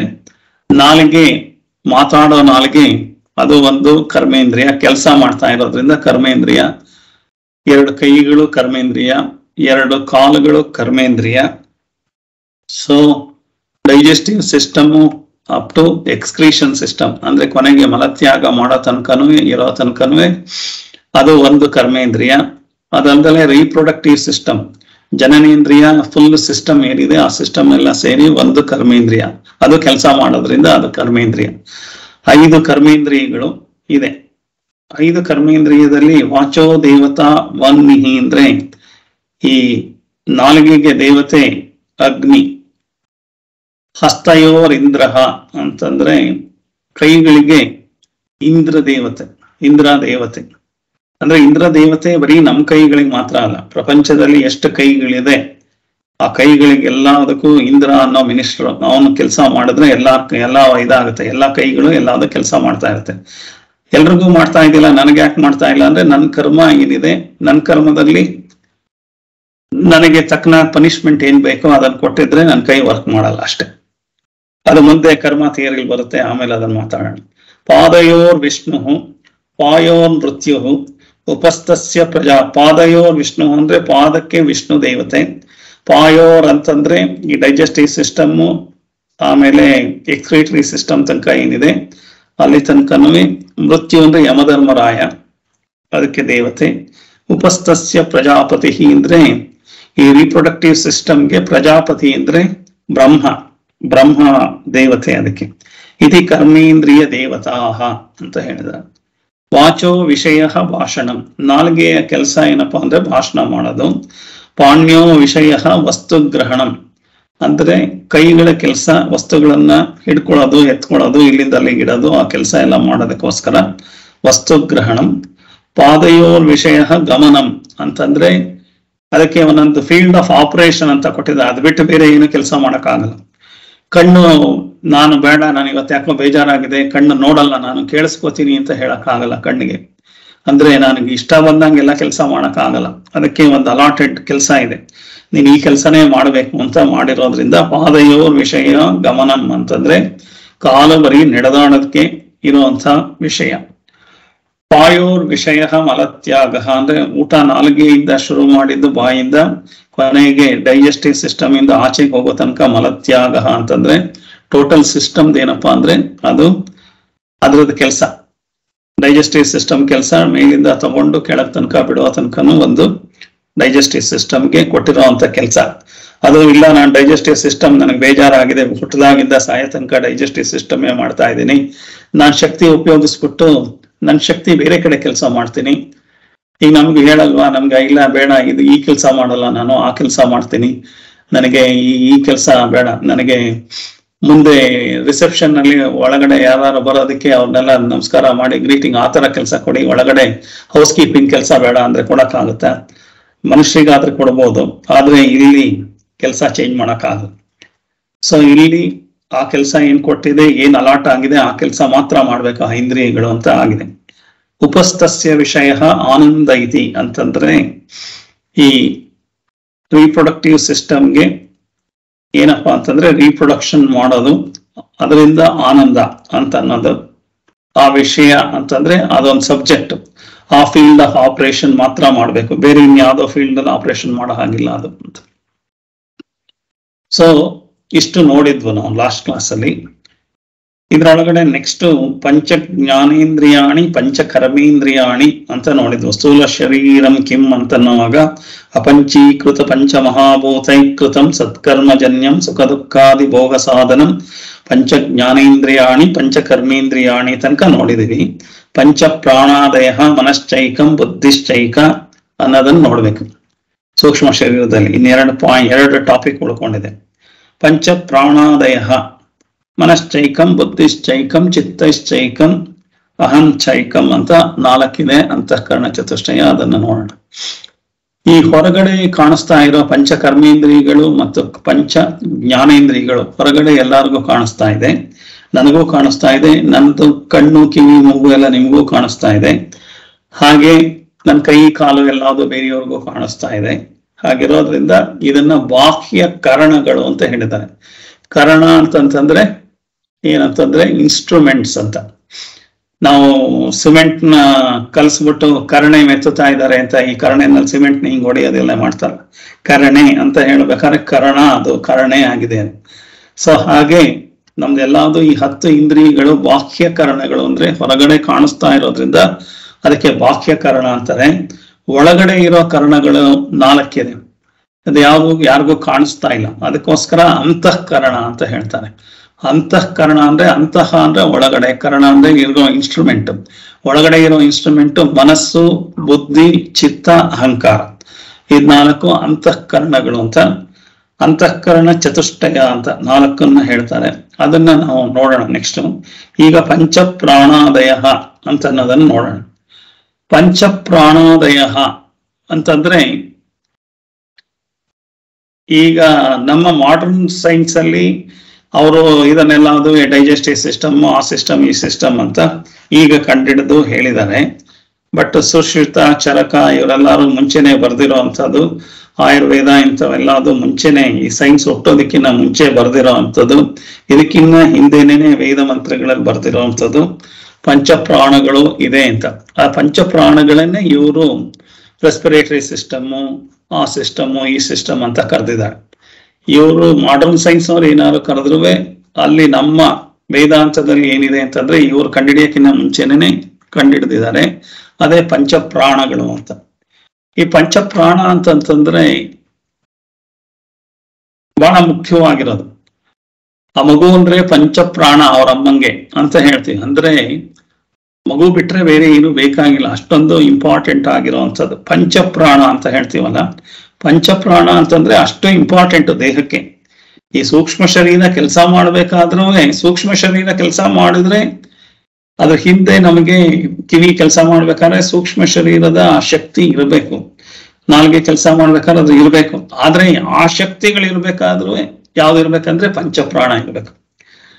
ಈ ಪಂಚಪ್ರಾಣ ಇಲ್ದಲೇ ಇದ್ರೆ ಈ ಶಕ್ತಿಗಳು ಸಾಧ್ಯ ಇಲ್ಲ. ಸೊ ಪಂಚಪ್ರಾಣ ಫಸ್ಟ್ ಕೆಲಸ ಮಾಡ್ಬೇಕು ಅದಾದ್ಮೇಲೆ ಇದೆಲ್ಲ ಕೆಲಸ ಮಾಡ್ಬೇಕು. ನಮಗ್ ಗೊತ್ತಿರೋದು ಬರೀ ಮುಖ್ಯ ಪ್ರಾಣ ಅಂತ. ಅಂದ್ರೆ ಮೂಗಲ್ ಉಸಿರಾಡ್ತಾ ಇದೀವಿ ಆಕ್ಸಿಜನ್ ಒಳಗಡೆ ಹೋಗ್ತಾ ಇದೆ, ಹೊರಗಡೆ ಬರ್ತಾ ಇದೆ ಕಾರ್ಬನ್ ಡೈಆಕ್ಸೈಡ್ ಇಷ್ಟನ್ನೇ ಇದರಿಂದ ನಾವು ಬರ್ತಿದೀವಿ ಅಂತ ಸೈನ್ಸ್ ಹೇಳುತ್ತೆ. ಸೈನ್ಸ್ ಪ್ರಕಾರ ಅಷ್ಟೇನೆ ಅವ್ರಿಗೆ. ಹಾಗಾದ್ರೆ ಆಕ್ಸಿಜನ್ನ ಒಳಗಡೆ ಕೊಡ್ತಾ ಇದ್ರೆ ತಗೋಬೇಕಲ್ವಾ? ಈಗ ಉಸಿರಾಟ ನಿಂತು ಹೋಗಿದೆ ಅಂತಂದ್ರೆ ಯಾಕೆ ನಿಂತು ಹೋಯ್ತು ಓಕೆ ಅಪ್ಪ ಆಕ್ಸಿಜನ್ ನಾನು ಹೊರಗಡೆಯಿಂದ ಸಿಲಿಂಡರ್ ಕೊಡ್ತಾ ಇದ್ದೀನಿ. ಉಸಿರಾಟ ಮಾಡ್ಬೇಕಲ್ವಾ ಅದು? ಉಸಿರಾಟ ಮಾಡೋ ಕೆಪಾಸಿಟಿ ಇಲ್ವಲ್ಲ ಅದಕ್ಕೆ? ಅಂದ್ರೆ ಉಸಿರಾಟ ಮಾಡಬೇಕಾದ್ರೂ ಅದು ಪಂಚಪ್ರಾಣಗಳು ಒಳಗಡೆ ಕೆಲಸ ಮಾಡ್ತಾ ಇದ್ರೆ ಉಸಿರಾಟ ಮಾಡ್ಬೋದು. ಉಸಿರಾಟ ಮಾಡಕ್ ಆಗಲ್ಲ ನಾವು ಇಲ್ಲಿಂದ ಒಂದೇ ಒಂದು ಹುಲ್ಲು ಕಡ್ಡಿ ಅಲ್ಲ, ಒಂದು ಸೂಜಿ, ಒಂದು ಸಾಸಿವೆ ಕಾಣ್ನೂ ಈ ಈ ಲೋಕದಿಂದ ಬೇರೆ ಲೋಕಕ್ಕೆ ತಗೊಂಡು ಹೋಗಕ್ಕಾಗಲ್ಲ. ಈ ಜನ್ಮದಿಂದ ಮುಂದಿನ ಜನ್ಮಕ್ಕೆ ತಗೊಂಡು ಹೋಗಕ್ಕಾಗಲ್ಲ. ಹೇಗೆ ಅಂತಂದ್ರೆ, ನಾವು ಉಸಿರಾಡಿದ ಗಾಳಿನೂ ಆಚೆಗೆ ಬಂದ್ಮೇಲೆ ಪ್ರಾಣ ಹೋಗೋದು. ಯಾಕೆಂದ್ರೆ ಗಾಳಿ ಈ ಪ್ರ, ಈ ಪ್ರಪಂಚಕ್ಕೆ ಸಂಬಂಧಪಟ್ಟಿದ್ದು. ನೀವು ಆಸ್ತಿ ಪಾಸ್ತಿ ಬಿಟ್ಬಿಡಿ. ಉಸಿರಾಟ ಆಗಿರೋ ಗಾಳಿ, ಲಂಗ್ಸ್ ಅಲ್ಲಿ ತುಂಬಿಕೊಂಡಿರೋ ಗಾಳಿನೂ ಆಚೆಗೆ ಹೋದ್ಮೇಲೆ ಪ್ರಾಣ ಹೋಗೋದು. ಅಲ್ಲಿ ತನಕನೂ ಗಾಳಿನ ಆಚೆಗೆ ಹಾಕೋ ತನಕ ಮೇಲ್ ಉಸಿರು ಬರ್ತಾ ಇರುತ್ತೆ, ಉಸಿರೆಲ್ಲ ಆಚೆಗೆ ಹೋಗ್ತಾ ಇರುತ್ತೆ ಸಾಯೋರ್ನ ನೋಡ್ಬೇಕು ನೀವು. ಮೇಲ್ ಉಸಿರು ಬರ್ತಾ ಇರುತ್ತೆ, ಆಚೆ ಕಡೆ ಹೋಗಿ ಆ ಗಾಳಿ ಆಚೆಗೆ ಹೋದ ಮೇಲೆ ಪ್ರಾಣ ಹೋಗುತ್ತೆ ಸೊ ಗಾಳಿ ಒಳಗಡೆ ಇಟ್ಕೊಂಡು ಅದು ಪ್ರಾಣ ಹೋಗಲ್ಲ. ಹಾಗೆ ಒಳಗಡೆ ಇರೋ ಡೈಜೆಸ್ಟಿವ್ ಸಿಸ್ಟಮ್ ಎಲ್ಲ ಖಾಲಿ ಆದ್ಮೇಲೆ ಆಗುತ್ತೆ. ಇದಕ್ಕಿದ್ದಾಗೆ ಹಾರ್ಟ್ ಅಟ್ಯಾಕ್ ಆದ್ರೆ ಒಳಗಡೆ ಇರತ್ತೆ, ಆಮೇಲೆ ಸತ್ತ ಮೇಲೆ ಅದೆಲ್ಲ ಅದುವೇ ಆಚೆಗೆ ಬರುತ್ತೆ ಅದು ಒಳಗಡೆ ಇಲ್ಲಿಂದ ಯಾವ ಸಾಮಾನು ತಗೊಂಡು ಹೋಗಕ್ ಬಿಡಲ್ಲ. ಎಲ್ಲ ಇಲ್ಲಿದೆ ಈ ಪ್ರಪಂಚದನ್ನ ಇಲ್ಲೇ ಬಿಡ್ಬೇಕು. ನೀವು ನೀವು ಸಂಪಾದನೆ ಮಾಡಿರೋ ಆಸ್ತಿ, ನೀವು ಸಂಪಾದನೆ ಮಾಡಿರೋ ಡಿಗ್ರಿಗಳು, ಆಮೇಲೆ ಯಾವ್ದೋ ಬಿರುದು ಬಾವುಲಿಗಳು, ಅಥವಾ ಇನ್ಯಾವುದೋ ಗಂಡ, ಹೆಂಡತಿ ಸಂಬಂಧಗಳು, ಅಥವಾ ಮಕ್ಕಳು, ಇನ್ಯಾವುದೋ ರಿಲೇಷನ್ಸು, ಯಾವುದು ಜೊತೆನಲ್ಲಿ ಬರಲ್ಲ. ಅಷ್ಟೇ ಯಾಕೆ ಉಸಿರಾಟ ಮಾಡ್ಕೊಂಡಿರೋ ಲಂಗ್ಸ್ ಅಲ್ಲಿರೋ ಗಾಳಿನೂ ಆಚೆಗೆ ಹೋಗೋ ತನಕ ನಮ್ ಪ್ರಾಣ ಹೋಗಲ್ಲ. ಅದನ್ನ ತಗೊಂಡು ಹೋಗೋಕ್ಕೂ ಬಿಡಲ್ಲ. ಅದನ್ನು ಇಲ್ಲೇ ಬಿಟ್ಟು ಹೋಗ್ಬೇಕು. ಈ ಪ್ರಪಂಚದಲ್ಲಿ ಏನ್ ತಗೊಂಡಿದೀವಿ ಅದೆಲ್ಲ ಇಲ್ಲೇ ಬಿಡಬೇಕು. ಬಿಡೋ ತನಕ ಪ್ರಾಣ ಹೋಗಲ್ಲ. ಬಿಟ್ಟ ಮೇಲೇನೆ ಪ್ರಾಣ ಹೋಗುತ್ತೆ. ಆಮೇಲೆ ಫಸ್ಟ್ ಸೂಕ್ಷ್ಮ ಶರೀರ ಆಚೆ ಕಡೆ ಖಾಲಿ ಮಾಡುತ್ತೆ. ಅದ್ರ ಜೊತೆ ಕಾರಣ ಶರೀರನು ಖಾಲಿ ಮಾಡುತ್ತೆ. ಅವಾಗ ಸ್ಥೂಲ ಶರೀರನ ತಗೊಂಡೋಗಿ ನಾವು ಸುಟ್ಟು ಹಾಕ್ತೀವಿ. ಅಥವಾ ಮಣ್ಣು ಮಾಡ್ತೀವಿ. ಅವ್ರ ಅವ್ರವ್ರ ಪದ್ಧತಿನಲ್ಲಿ ಏನಿದೆ ಹಂಗ್ ಮಾಡ್ತಾರೆ. ಸ್ಥೂಲ ಶರೀರಕ್ಕೆ ಅಷ್ಟೇ ಕೆಲಸ. ಸ್ಥೂಲ ಶರೀರ ಈ ಸೂಕ್ಷ್ಮ ಶರೀರಕ್ಕೆ ನಾವು ಬೆಳಗಾಗಿದ್ದು ಸ್ನಾನ ಮಾಡಿದ್ಮೇಲೆ ಹೊಸ ಪ್ಯಾಂಟು, ಹೊಸ ಶರ್ಟು ಹಾಕೊಡ್ತೀವಲ್ಲ? ಹೋಗ್ದಿದ್ದು ಇಸ್ತ್ರಿ ಮಾಡಿದ್ದು, ಹೊಸ ಪ್ಯಾಂಟು, ಶರ್ಟು ಹಾಕೊಂಡಾಗೆ ಇವತ್ತೊಂದು ಪ್ಯಾಂಟು, ನಾಳೆ ಒಂದು ಪ್ಯಾಂಟು ಇವತ್ ಶರ್ಟ್ ಬೇರೆ, ನಾಳೆ ಶರ್ಟ್ ಬೇರೆ ಅಂದಾಗೆ. ಸೂಕ್ಷ್ಮ ಶರೀರ ಕಾರಣ ಶರೀರಕ್ಕೆ ಈ ಸ್ಥೂಲ ಶರೀರ ಅನ್ನೋದು ಶರ್ಟ್ ತರ. ಆದ್ರೆ ಈ ಶರ್ಟ್ ನೂರು ನೂರ ಇಪ್ಪತ್ತು ವರ್ಷ ಎಲ್ಲ ಹಾಕೊಂಡಿರುತ್ತೆ. ಈ ಶರ್ಟು, ಪ್ಯಾಂಟು ತರ. ಸ್ಥೂಲ ಶರೀರನೇ ಶರ್ಟು ಪ್ಯಾಂಟ್ ಯಾವುದಕ್ಕೆ ಅಂದ್ರೆ ಸೂಕ್ಷ್ಮ ಶರೀರಕ್ಕೆ. ಸೂಕ್ಷ್ಮ ಶರೀರಕ್ಕೆ ಅದು ಶರ್ಟು ಪ್ಯಾಂಟ್ ಸೂಕ್ಷ್ಮ ಶರೀರ ತುಂಬಾ ದಿವಸ ಬದುಕಿರುತ್ತೆ ಅಪ್ಟು ಪ್ರಳಯ ಕಾಲದ ತನಕನೂ ಬದುಕಿರುತ್ತೆ ಅನ್ನೋದ್ರಿಂದ ಆ ಸೂಕ್ಷ್ಮ ಶರೀರ ಇರೋ ತನಕ ಎಷ್ಟೋ ಪ್ಯಾಂಟು ಶರ್ಟ್ಗಳು ಚೇಂಜ್ ಮಾಡ್ತಾ ಇರುತ್ತೆ. ಹಾಗೆ ಈ ತರದ್ದು ಸ್ಥೂಲ ಶರೀರಗಳು ಇವತ್ತು ಸತ್ತೋದ್ರು, ನಾಳೆ ಸತ್ತೋದ್ರು ನಾಳೆ ಸತ್ತೋದ್ರು ಮುಂದೆ ಜನ್ಮದಲ್ಲಿ ಬಂದ ತಿರ್ಗಾ ಹೋಯ್ತು ಹೋಯ್ತು ಅಂತಂದ್ರೆ ಅದು ಪ್ಯಾಂಟು ಶರ್ಟ್ ಅನ್ನ ಹೇಗೆ, ಹೊಸ ಪ್ಯಾಂಟು ಶರ್ಟ್ನ ದಿವಸ ಹಾಕೋತೀವೋ ಹಾಗೆ ಸೂಕ್ಷ್ಮ ಶರೀರ, ಈ ಸ್ಥೂಲ ಶರೀರ ಅನ್ನೋದೇನೆ ಪ್ಯಾಂಟು, ಶರ್ಟ್ ಅದಕ್ಕೆ. ಅದನ್ನ ಹಾಕೊಂಡು ಖಾಲಿ ಮಾಡ್ತಾ ಇರುತ್ತೆ. ಅದಕ್ಕೆ ನಮ್ಮ ನಮ್ ಪ್ಯಾಂಟು, ಶರ್ಟ್ಗೆ ಮೇ ಬಿ ಈ ವರ್ಷ ತಗೊಂಡಿದ್ ಮುಂದೆ ದೀಪಾವಳಿ ಬಿಸಾಕ್ಬೋದು ಅಥವಾ ಇವತ್ತು ಒಗ್ದಿದ್ ಒಗ್- ಒಗ್ದಿದ್, ನಾಳೆ ಒಗ್ದಿದ್ ಹಾಕೋಬೇಕು ಅಂತ ಇವತ್ತನ್ನು ತೆಗೆದು ಬಿಸಾಕ್ಬೋದು ಕೊಳೆ ಆಗಿದೆ, ಬೆವರಾಗಿದೆ ಅಂತ ಅಂದ್ಬಿಟ್ಟು ಆದ್ರೆ ಈ ಸ್ಥೂಲ ಶರೀರಕ್ಕೆ ನೂರ ಇಪ್ಪತ್ತು ವರ್ಷ ಅದಕ್ಕಿದೆ ಅಂತಂದ್ರೆ ನೂರ ಇಪ್ಪತ್ತು ವರ್ಷ ತನಕನೂ ಇದೇ ಪ್ಯಾಂಟು ಶರ್ಟ್ನೇ ಹಾಕೊಂಡಿರುತ್ತೆ ಸೂಕ್ಷ್ಮ ಶರೀರ, ಕಾರಣ ಶರೀರ. ಸೂಕ್ಷ್ಮ ಶರೀರಕ್ಕೆ ಸ್ಥೂಲ ಶರೀರದ ಅವಶ್ಯಕತೆ ಏನಿಲ್ಲ. ಆದ್ರೆ ಸ್ಥೂಲ ಶರೀರ ಇರಬೇಕಾದ್ರೆ ಅದಕ್ಕೆ ಸ್ಥೂಲ ಸೂಕ್ಷ್ಮ ಶರೀರ, ಕಾರಣ ಶರೀರದ ಅವಶ್ಯಕತೆ ಇದೆ. ಅದರಿಂದನೇ ಇದಾಗಿದೆ. ಇವಾಗ ಸೂಕ್ಷ್ಮ ಶರೀರಕ್ಕೆ, ಸ್ಥೂಲ ಶರೀರಕ್ಕೆ ಇದರ ಅವಶ್ಯಕತೆ ಇಲ್ದಲೇ ಇದ್ದಿದ್ರೆ ಸತ್ತೋದ್ರು ಅಂತಂದ್ರೆ, ಈಗ ದೇಹ ಹೆಣ ಹಂಗೆ ಮಲಗಿದೆ ಅಂತಂದ್ರೆ, ಸ್ಥೂಲ ಶರೀರಕ್ಕೆ ಸೂಕ್ಷ್ಮ ಶರೀರದ ಅವಶ್ಯಕತೆ ಇಲ್ಲ. ನನಗೆ ನಿನ್ ನಿನ್ ಸಹಾಯ ಬೇಕಾಗಿಲ್ಲ ಹೋಗ್ ಅಂತ ಹೇಳ್ಬೋದು ಇದು. ಹಾಗೆ ಹೇಳಿದ್ರೆ ಅದಕ್ಕೇನು ಮಾಡಕ್ಕೆ ಆಗಲಿ ಸೊ, ಸ್ಥೂಲ ಶರೀರಕ್ಕೆ ಏನು ಕೆಪಾಸಿಟಿನೇ ಇಲ್ಲ. ಸೂಕ್ಷ್ಮ ಶರೀರಕ್ಕೆ ಸ್ಥೂಲ ಶರೀರದ ಕೆಪಾಸಿಟಿ ಬೇಕು. ಯಾಕೆ ಅಂದ್ರೆ ವ್ಯಕ್ತವಾಗೋದಕ್ಕೆ, ಅಂದ್ರೆ ಹೊರಗಡೆ ಕಾಣಿಸ್ಕೊಳ್ಳೋದಕ್ಕೋಸ್ಕರ ಬೇಕಷ್ಟೇ. ಇಲ್ಲದೆ ಹೋದ್ರೆ ಅದ್ರ ಪಾಡ್ಗದು ಬೇರೆ ಲೋಕದಲ್ಲಿ ಇರುತ್ತದು ಅದಕ್ಕೇನು ಈ ಸ್ಥೂಲ ಶರೀರ ಬೇಕು ಅಂತ ಏನಿಲ್ಲ. ಸಾಮಾನ್ಯಕ್ಕೆ ಏನ್ ಹೇಳ್ತಾರೆ? ಸತ್ ಮೇಲೆ ಇದು ನಮ್ಮ ಛಾಯಾ ಶರೀರ ಅಂತ ಏನ್ ಹೇಳ್ತೀವಿ? ಸೂಕ್ಷ್ಮ ಶರೀರ. ಬೇರೆ ಲೋಕಕ್ಕೆ ಪ್ರಯಾಣ ಮಾಡುತ್ತೆ. ಅಲ್ಲಿ ನಮ್ಮ ಕರ್ಮ ಲೆಕ್ಕಾಚಾರ ಆಗೋ ತನಕನೂ ಇರುತ್ತೆ. ನಾವು ಎಷ್ಟು ಪುಣ್ಯ ಮಾಡಿದ್ವಿ, ಎಷ್ಟು ಪಾಪ ಮಾಡಿದೀವಿ ಅಂತ. ಆದ್ಮೇಲೆ ಆ ಸ್ಥೂಲ ಶರೀರಕ್ಕೆ ಸೂಟಬಲ್ ಆಗಿರೋದು ಒಂದು ಬಾಡಿ ನೀನು ಒಳ್ಳೆ ಪುಣ್ಯ ಮಾಡಿದ್ಯಾ ಅಂತಂದ್ರೆ ನಿನಗೆ ಮನುಷ್ಯ ಜನ್ಮನೆ ಕೊಡಬೇಕು ಅಂತ ಏನಾದ್ರು ಆಗಿದ್ರೆ ಮನುಷ್ಯ ಶರೀರ ಒಂದು ಅಲಾಟ್ ಮಾಡಿ ಇಂಥವ್ರ ಮನೆಯಲ್ಲಿ, ಇಂಥವ್ರ ಹೊಟ್ಟೆನಲ್ಲಿ ಹೀಗೆ ಹುಟ್ಟಪ್ಪ ಅಂತ ಅಂದ್ಬಿಟ್ಟು ಆ ಶರೀರ ಅಲಾಟ್ ಮಾಡಿ, ಆ ಸೂಕ್ಷ್ಮ ಶರೀರ ನಿಮ್ದೆಲ್ಲ ಏನೇನ್ ಮಾಡಿದ್ದೀರಾ? ಮೆಮೊರಿ ಬ್ಯಾಂಕ್ ಇಂದ ಹಿಡಿದು ಏನೇನಿದೆ ಎಕ್ಸ್ಪೀರಿಯನ್ಸ್ ವಾಸನೆ ಅಂತ ಹೇಳ್ತೀವಿ, ಸಂಸ್ಕಾರ ಅಂತೀವಿ. ಆ ಸಂಸ್ಕಾರ ಬ್ಯಾಂಕ್ ಸಮೇತ ಆ ಸೂಕ್ಷ್ಮ ಶರೀರ ಬಂದು ಈ ಒಂದು ಹೊಸ ಮನೆ ಹುಟ್ಟು ಅಂತ ಹೇಳ್ತಾ ಇರೋ ಆ ಒಂದು ಭ್ರೂಣಕ್ಕೆ ಹೋಗಿ ಸೇರ್ಕ, ಆ ಸ್ಪರ್ಮ್ ಒಳ್ಳೆ ಸೇರ್ಕೊಂಡ್ಬಿಡುತ್ತೆ, ಹೋಗಿ. ಸ್ಪರ್ಮ್ ಅಂಡ್ ಓವರಿ ಎರಡು ಆಗ್ತಿದ್ದಂಗೆ ಅಲ್ಲಿ ಹೋಗಿ ಸೂಕ್ಷ್ಮ ಶರೀರ ಸೇರ್ಕೊಳತ್ತೆ. ಆ ಸೂಕ್ಷ್ಮ ಶರೀರಕ್ಕೆ ಪಾಪ ಪುಣ್ಯದ ಮೇಲೆ, ಓಕೆ, ಈ ಪಾ, ಈ ಒಂದು ಹುಟ್ತಾ ಇರೋ ಮಗುಗೆ ಪುಣ್ಯ ಸರಿಯ ಮಾಡಿಲ್ಲ, ಬೇಕಾಶ್ ಪಾಪ ಮಾಡಿದೆ ಅಂತಂದ್ರೆ ಇದಕ್ಕೊಂದು ಕೈ ಇಲ್ದಲೆ ಇರೋ ತರ ಮಾಡು, ಕೈ ಕಣ್ಣಿಲ್ದಲೆ ಇರೋ ತರ ಮಾಡು ಅಂತ ಅದೆಲ್ಲ ಅಲಾಟ್ ಆಗ್ಬಿಟ್ಟಿದೆ. ನಿಮ್ ಬ್ಯಾಂಕ್ ಅಲ್ಲಿ ನಿಮ್ ಕರ್ಮದ ಮೇಲೆ ನಿಮ್ಗೆ ಅಲಾಟ್ ಆಗಿರುತ್ತೆ. ಅಲಾಟ್ ಆದ್ಮೇಲೆ ಆ ಹೊಟ್ಟೆಯಲ್ಲಿ ಹುಟ್ಟತಾ ಇದ್ದಾಗ್ಲೇನೆ ಅದಕ್ಕೆ ಕಣ್ಣು, ಕೈ ಎಲ್ಲಾವುದು ಚೆನ್ನಾಗಿ ಹುಟ್ಟಬಹುದು ಎಲ್ಲ ಚೆನ್ನಾಗಿಲ್ದಲೇನೆ ಹುಟ್ಟಬಹುದು ಎಲ್ಲಾವುದು ಆಗ್ಬೋದು. ಇದನ್ನ ಯಾವ ಮೆಡಿಕಲ್ ಸಿಸ್ಟಮ್ ಅಲ್ಲಿ ರಿಪೇರಿ ಮಾಡೋಕ್ಕಾಗಲ್ಲ. ಹುಟ್ತಾ ಇದ್ದಾಗ ಒಳಗಡೆ ಹೇಳ್ಬೋದು, ಸ್ಕ್ಯಾನ್ ಮಾಡ್ಬೋದು, ಅಲ್ಟ್ರಾ ಸ್ಕ್ಯಾನಿಂಗ್ ಮಾಡ್ಬೋದು, ತ್ರೀ ಡಿ ಸ್ಕ್ಯಾನಿಂಗ್ ಮಾಡ್ಬೋದು, ಎಂ ಆರ್ ಐ ಸ್ಕ್ಯಾನಿಂಗ್ ಮಾಡ್ಬೋದು. ಮಗುಗೆ ಕಣ್ಣಿಲ್ಲ ಕೈ ಇಲ್ಲ ಕಾಲಿಲ್ಲ ಅಂತ ಹೇಳ್ಬೋದು. ಅಷ್ಟು ಮಾತ್ರ ಕಂಡಿಡದೆ ಹೊರತು ಕಣ್ಣಿಲ್ದಲೇ ಇರೋದನ್ನ ಒಳಗಡೆ ಕಣ್ಣು ಕೊಡಕ್ಕೆ ಅವ್ರ ಕೈಲಿ ಆಗ್ತಾ ಇಲ್ಲ. ಕಾಲಿಲ್ದಲೇ ಇರೋದನ್ನ ಕಾಲು ಹೊರಗಡೆ ಬೇಕಾದ್ರೆ ಬಂದ್ಮೇಲೆ ಒಂದು ಪ್ರಾಸ್ಥೆಟಿಕ್ ಲೆಗ್ ಹಾಕ್ಬೋದು, ಆರ್ಟಿಫಿಷಿಯಲ್ ಲೆಗ್ ಹಾಕ್ಬೋದು ಅಷ್ಟೇ ಹೊರತು ಬೇರೆ ಏನು ಮಾಡಕ್ಕಾಗಲ್ಲ. ಸೈನ್ಸ್ ಮುಂದುವರಿಯೋದು ಅಲ್ಲಿ ತನಕ ಅಷ್ಟೇನೆ. ಆದ್ರೆ ಹಾಗೆ ಯಾಕಾಗುತ್ತೆ ಅನ್ನೋದಕ್ಕೆ ಇಲ್ಲೆಲ್ಲ ಡೀಟೇಲ್ಸ್ನ ಹೇಳ್ತಾರೆ. ಅದಕ್ಕೋಸ್ಕರ ಫಸ್ಟ್ ನಾವು ಪಂಚಪ್ರಾಣ ಅಂದ್ರೇನು ಸ್ಥೂಲ ಶರೀರ ಅಂದ್ರೇನು ಸೂಕ್ಷ್ಮ ಶರೀರ ಅಂದ್ರೇನು ಎಲ್ಲಾದ್ರೂ ಡೀಟೇಲ್ಸ್ ತಿಳ್ಕೊಂಡ ಮೇಲೆ ಕರ್ಮ ಥಿಯರಿ ಅರ್ಥ ಆಗುತ್ತೆ. ಇದೆಲ್ಲ ಡೀಟೇಲ್ಸ್ ತಿಳ್ಕೋಬೇಕು. ತಿಳ್ಕೊಳಕ್ಕೋಸ್ಕರ ಇದನ್ನೆಲ್ಲ ಡೀಟೇಲ್ಸ್ ಹೇಳಿ, ಯಾವುದನ್ನ ಫಸ್ಟ್ ತಿಳ್ಕೊಂಡು ಆಮೇಲೆ ಯಾವ್ದನ್ನ ನೆಕ್ಸ್ಟ್ ತಿಳ್ಕೋಬೇಕು ಅಂತ ಹಾಗೇನೆ ಟೆಕ್ಸ್ಟ್ನ ಬರ್ದಿದ್ದಾರೆ. ಕೊನೆ ಹೇಳೋದನ್ನ ಮೊದ್ಲು ಬರ್ದು, ಮೊದ್ಲು ಹೇಳೋದನ್ನ ಕೊನೆಯಲ್ಲಿ ಬರ್ದಿದ್ರೆ ಅರ್ಥ ಆಗಲ್ಲ ನಮ್ಗೆ. ಸೊ ಇವತ್ತು ಪಂಚಪ್ರಾಣಾದಯ ಅಂತಂದ್ರೆ ಪಂಚಪ್ರಾಣಾದಯ ಅಂತ ಬರ್ದಿದ್ದಾರೆ ಪಂಚಪ್ರಾಣಾದಯ ಅಂದ್ರೆ ಪಂಚಪ್ರಾಣಗಳ ದಯೆಯಿಂದ ಇವೆಲ್ಲ ಸೂಕ್ಷ್ಮ ಶರೀರ ಕೆಲಸ ಮಾಡ್ತಾ ಇದೆ. ಪಂಚಪ್ರಾಣಾದಯ ಯಾವ್ಯಾವ್ದು ಪಂಚಪ್ರಾಣಗಳು ಅಂತಂದ್ರೆ ಸಾಮಾನ್ಯ ದೇವ್ರ ಪೂಜೆ ಮಾಡುವಾಗ ನಮಗೆ ನೈವೇದ್ಯ ಮಾಡಿದ್ಮೇಲೆ ಹೇಳ್ತಾರೆ. ಸೊ ಪರ್ಶಂಟ್ನೆ ಮಾಡಿ ಅದೆಲ್ಲ ಇಟ್ಕೊಂಡು ಮಾಡಿದ್ಮೇಲೆ ದೇವರಿಗೆ ತೋರ್ಸಪ್ಪ ಅದನ್ನೆಲ್ಲ ನೈವೇದ್ಯನ ಅಂತ ಪ್ರಾಣಾಯ ಸ್ವಾಹ ಅಪಾನಾಯ ಸ್ವಾಹ ವ್ಯಾನಾಯ ಸ್ವಾಹ ಸಮಾನಾಯ ಸ್ವಾಹ ಉದಾನಾಯ ಸ್ವಾಹ ಪಂಚಪ್ರಾಣಾಯ ಸ್ವಾಹ ಅಂತ ಅಂದ್ಬಿಟ್ಟು ಹೇಳೋ ಅಂಥದ್ದು. ಸೊ ಈ ಏನ್ ಹೇಳಿರ್ತಾರೆ, ಆ ನೈವೇದ್ಯ ಮಾಡುವಾಗ ಪಂಚಪ್ರಾಣಗಳು ಅಂತ ಹೇಳ್ತಾರೆ, ಅದೇ ಪಂಚಪ್ರಾಣ ಬಗ್ಗೆ ಇಲ್ಲಿ ಹೇಳ್ತಾ ಇರೋದು. ಪಂಚಪ್ರಾಣಗಳು ಅನ್ನೋದು ಐದು ಪಂಚಪ್ರಾಣಗಳು. ನಾವು ಉಸಿರಾಟ ಮಾಡಿದಾಗ ಆಕ್ಸಿಜನ್ ಒಳಗಡೆ ಹೋಗುತ್ತೆ ಅಂತ ಅನ್ಬೇಕಾದ್ರೆ ಪಂಚಪ್ರಾಣ ಅಂತಂದ್ರೆ ನಮಗ್ ಗೊತ್ತಿರೋದು ಸೈನ್ಸಿಗೆ ಗೊತ್ತಿರೋದು, ಬರೀ ಉಸಿರಾಡುವಾಗ ಆಕ್ಸಿಜನ್ ಒಳಗಡೆ ಹೋಗುತ್ತೆ ಅಂತ. ಅಂದ್ರೆ ಏರ್ ಒಳಗಡೆ ಹೋಗುತ್ತೆ. ಅದ್ರ ಜೊತೆ ನೈಟ್ರೋಜನ್ ಇದೆ ಕಾರ್ಬನ್ ಡೈಆಕ್ಸೈಡ್ ಇದೆ, ಇದು ಎಲ್ಲದು ಇದೆ. ಯಾವುದು? ಹೈಡ್ರೋಜನ್ ಎಲ್ಲದು ಇದೆ. ಸೊ ಕಾರ್ಬನ್ ಡೈಆಕ್ಸೈಡ್ ಬಹಳ ಇಂಪಾರ್ಟೆಂಟ್ ಕಾರ್ಬನ್ ಡೈಆಕ್ಸೈಡ್ ಕಡಿಮೆ ಆಗ್ಬಿಟ್ರೂ ಬ್ಲಡ್ ವೆಸಲ್ಸ್ ಎಲ್ಲಾವುದು ಶಿಂಕ್ ಆಗ್ಬಿಡುತ್ತೆ. ಕಾರ್ಬನ್ ಡೈಆಕ್ಸೈಡ್ ಜಾಸ್ತಿ ಆದ್ರೆ ಸಿಕ್ಕಾಪಟ್ಟೆ ಜಾಸ್ತಿ ಬ್ಲಡ್ ಇದಾಗಿ ಬಿ ಪಿ ಕಡಿಮೆ ಆಗ್ಬಿಡುತ್ತೆ. ಸೊ ಕಾರ್ಬನ್ ಡೈಆಕ್ಸೈಡು ಬಹಳ ಇಂಪಾರ್ಟೆಂಟ್ ಒಳಗಡೆ ತಗೊಂಡಾಗ ಬರೀ ಆಕ್ಸಿಜನ್ನೇ ತಗೊಳ್ಳಲ್ಲ ಕಾರ್ಬನ್ ಡೈಆಕ್ಸೈಡು ಬೇಕು.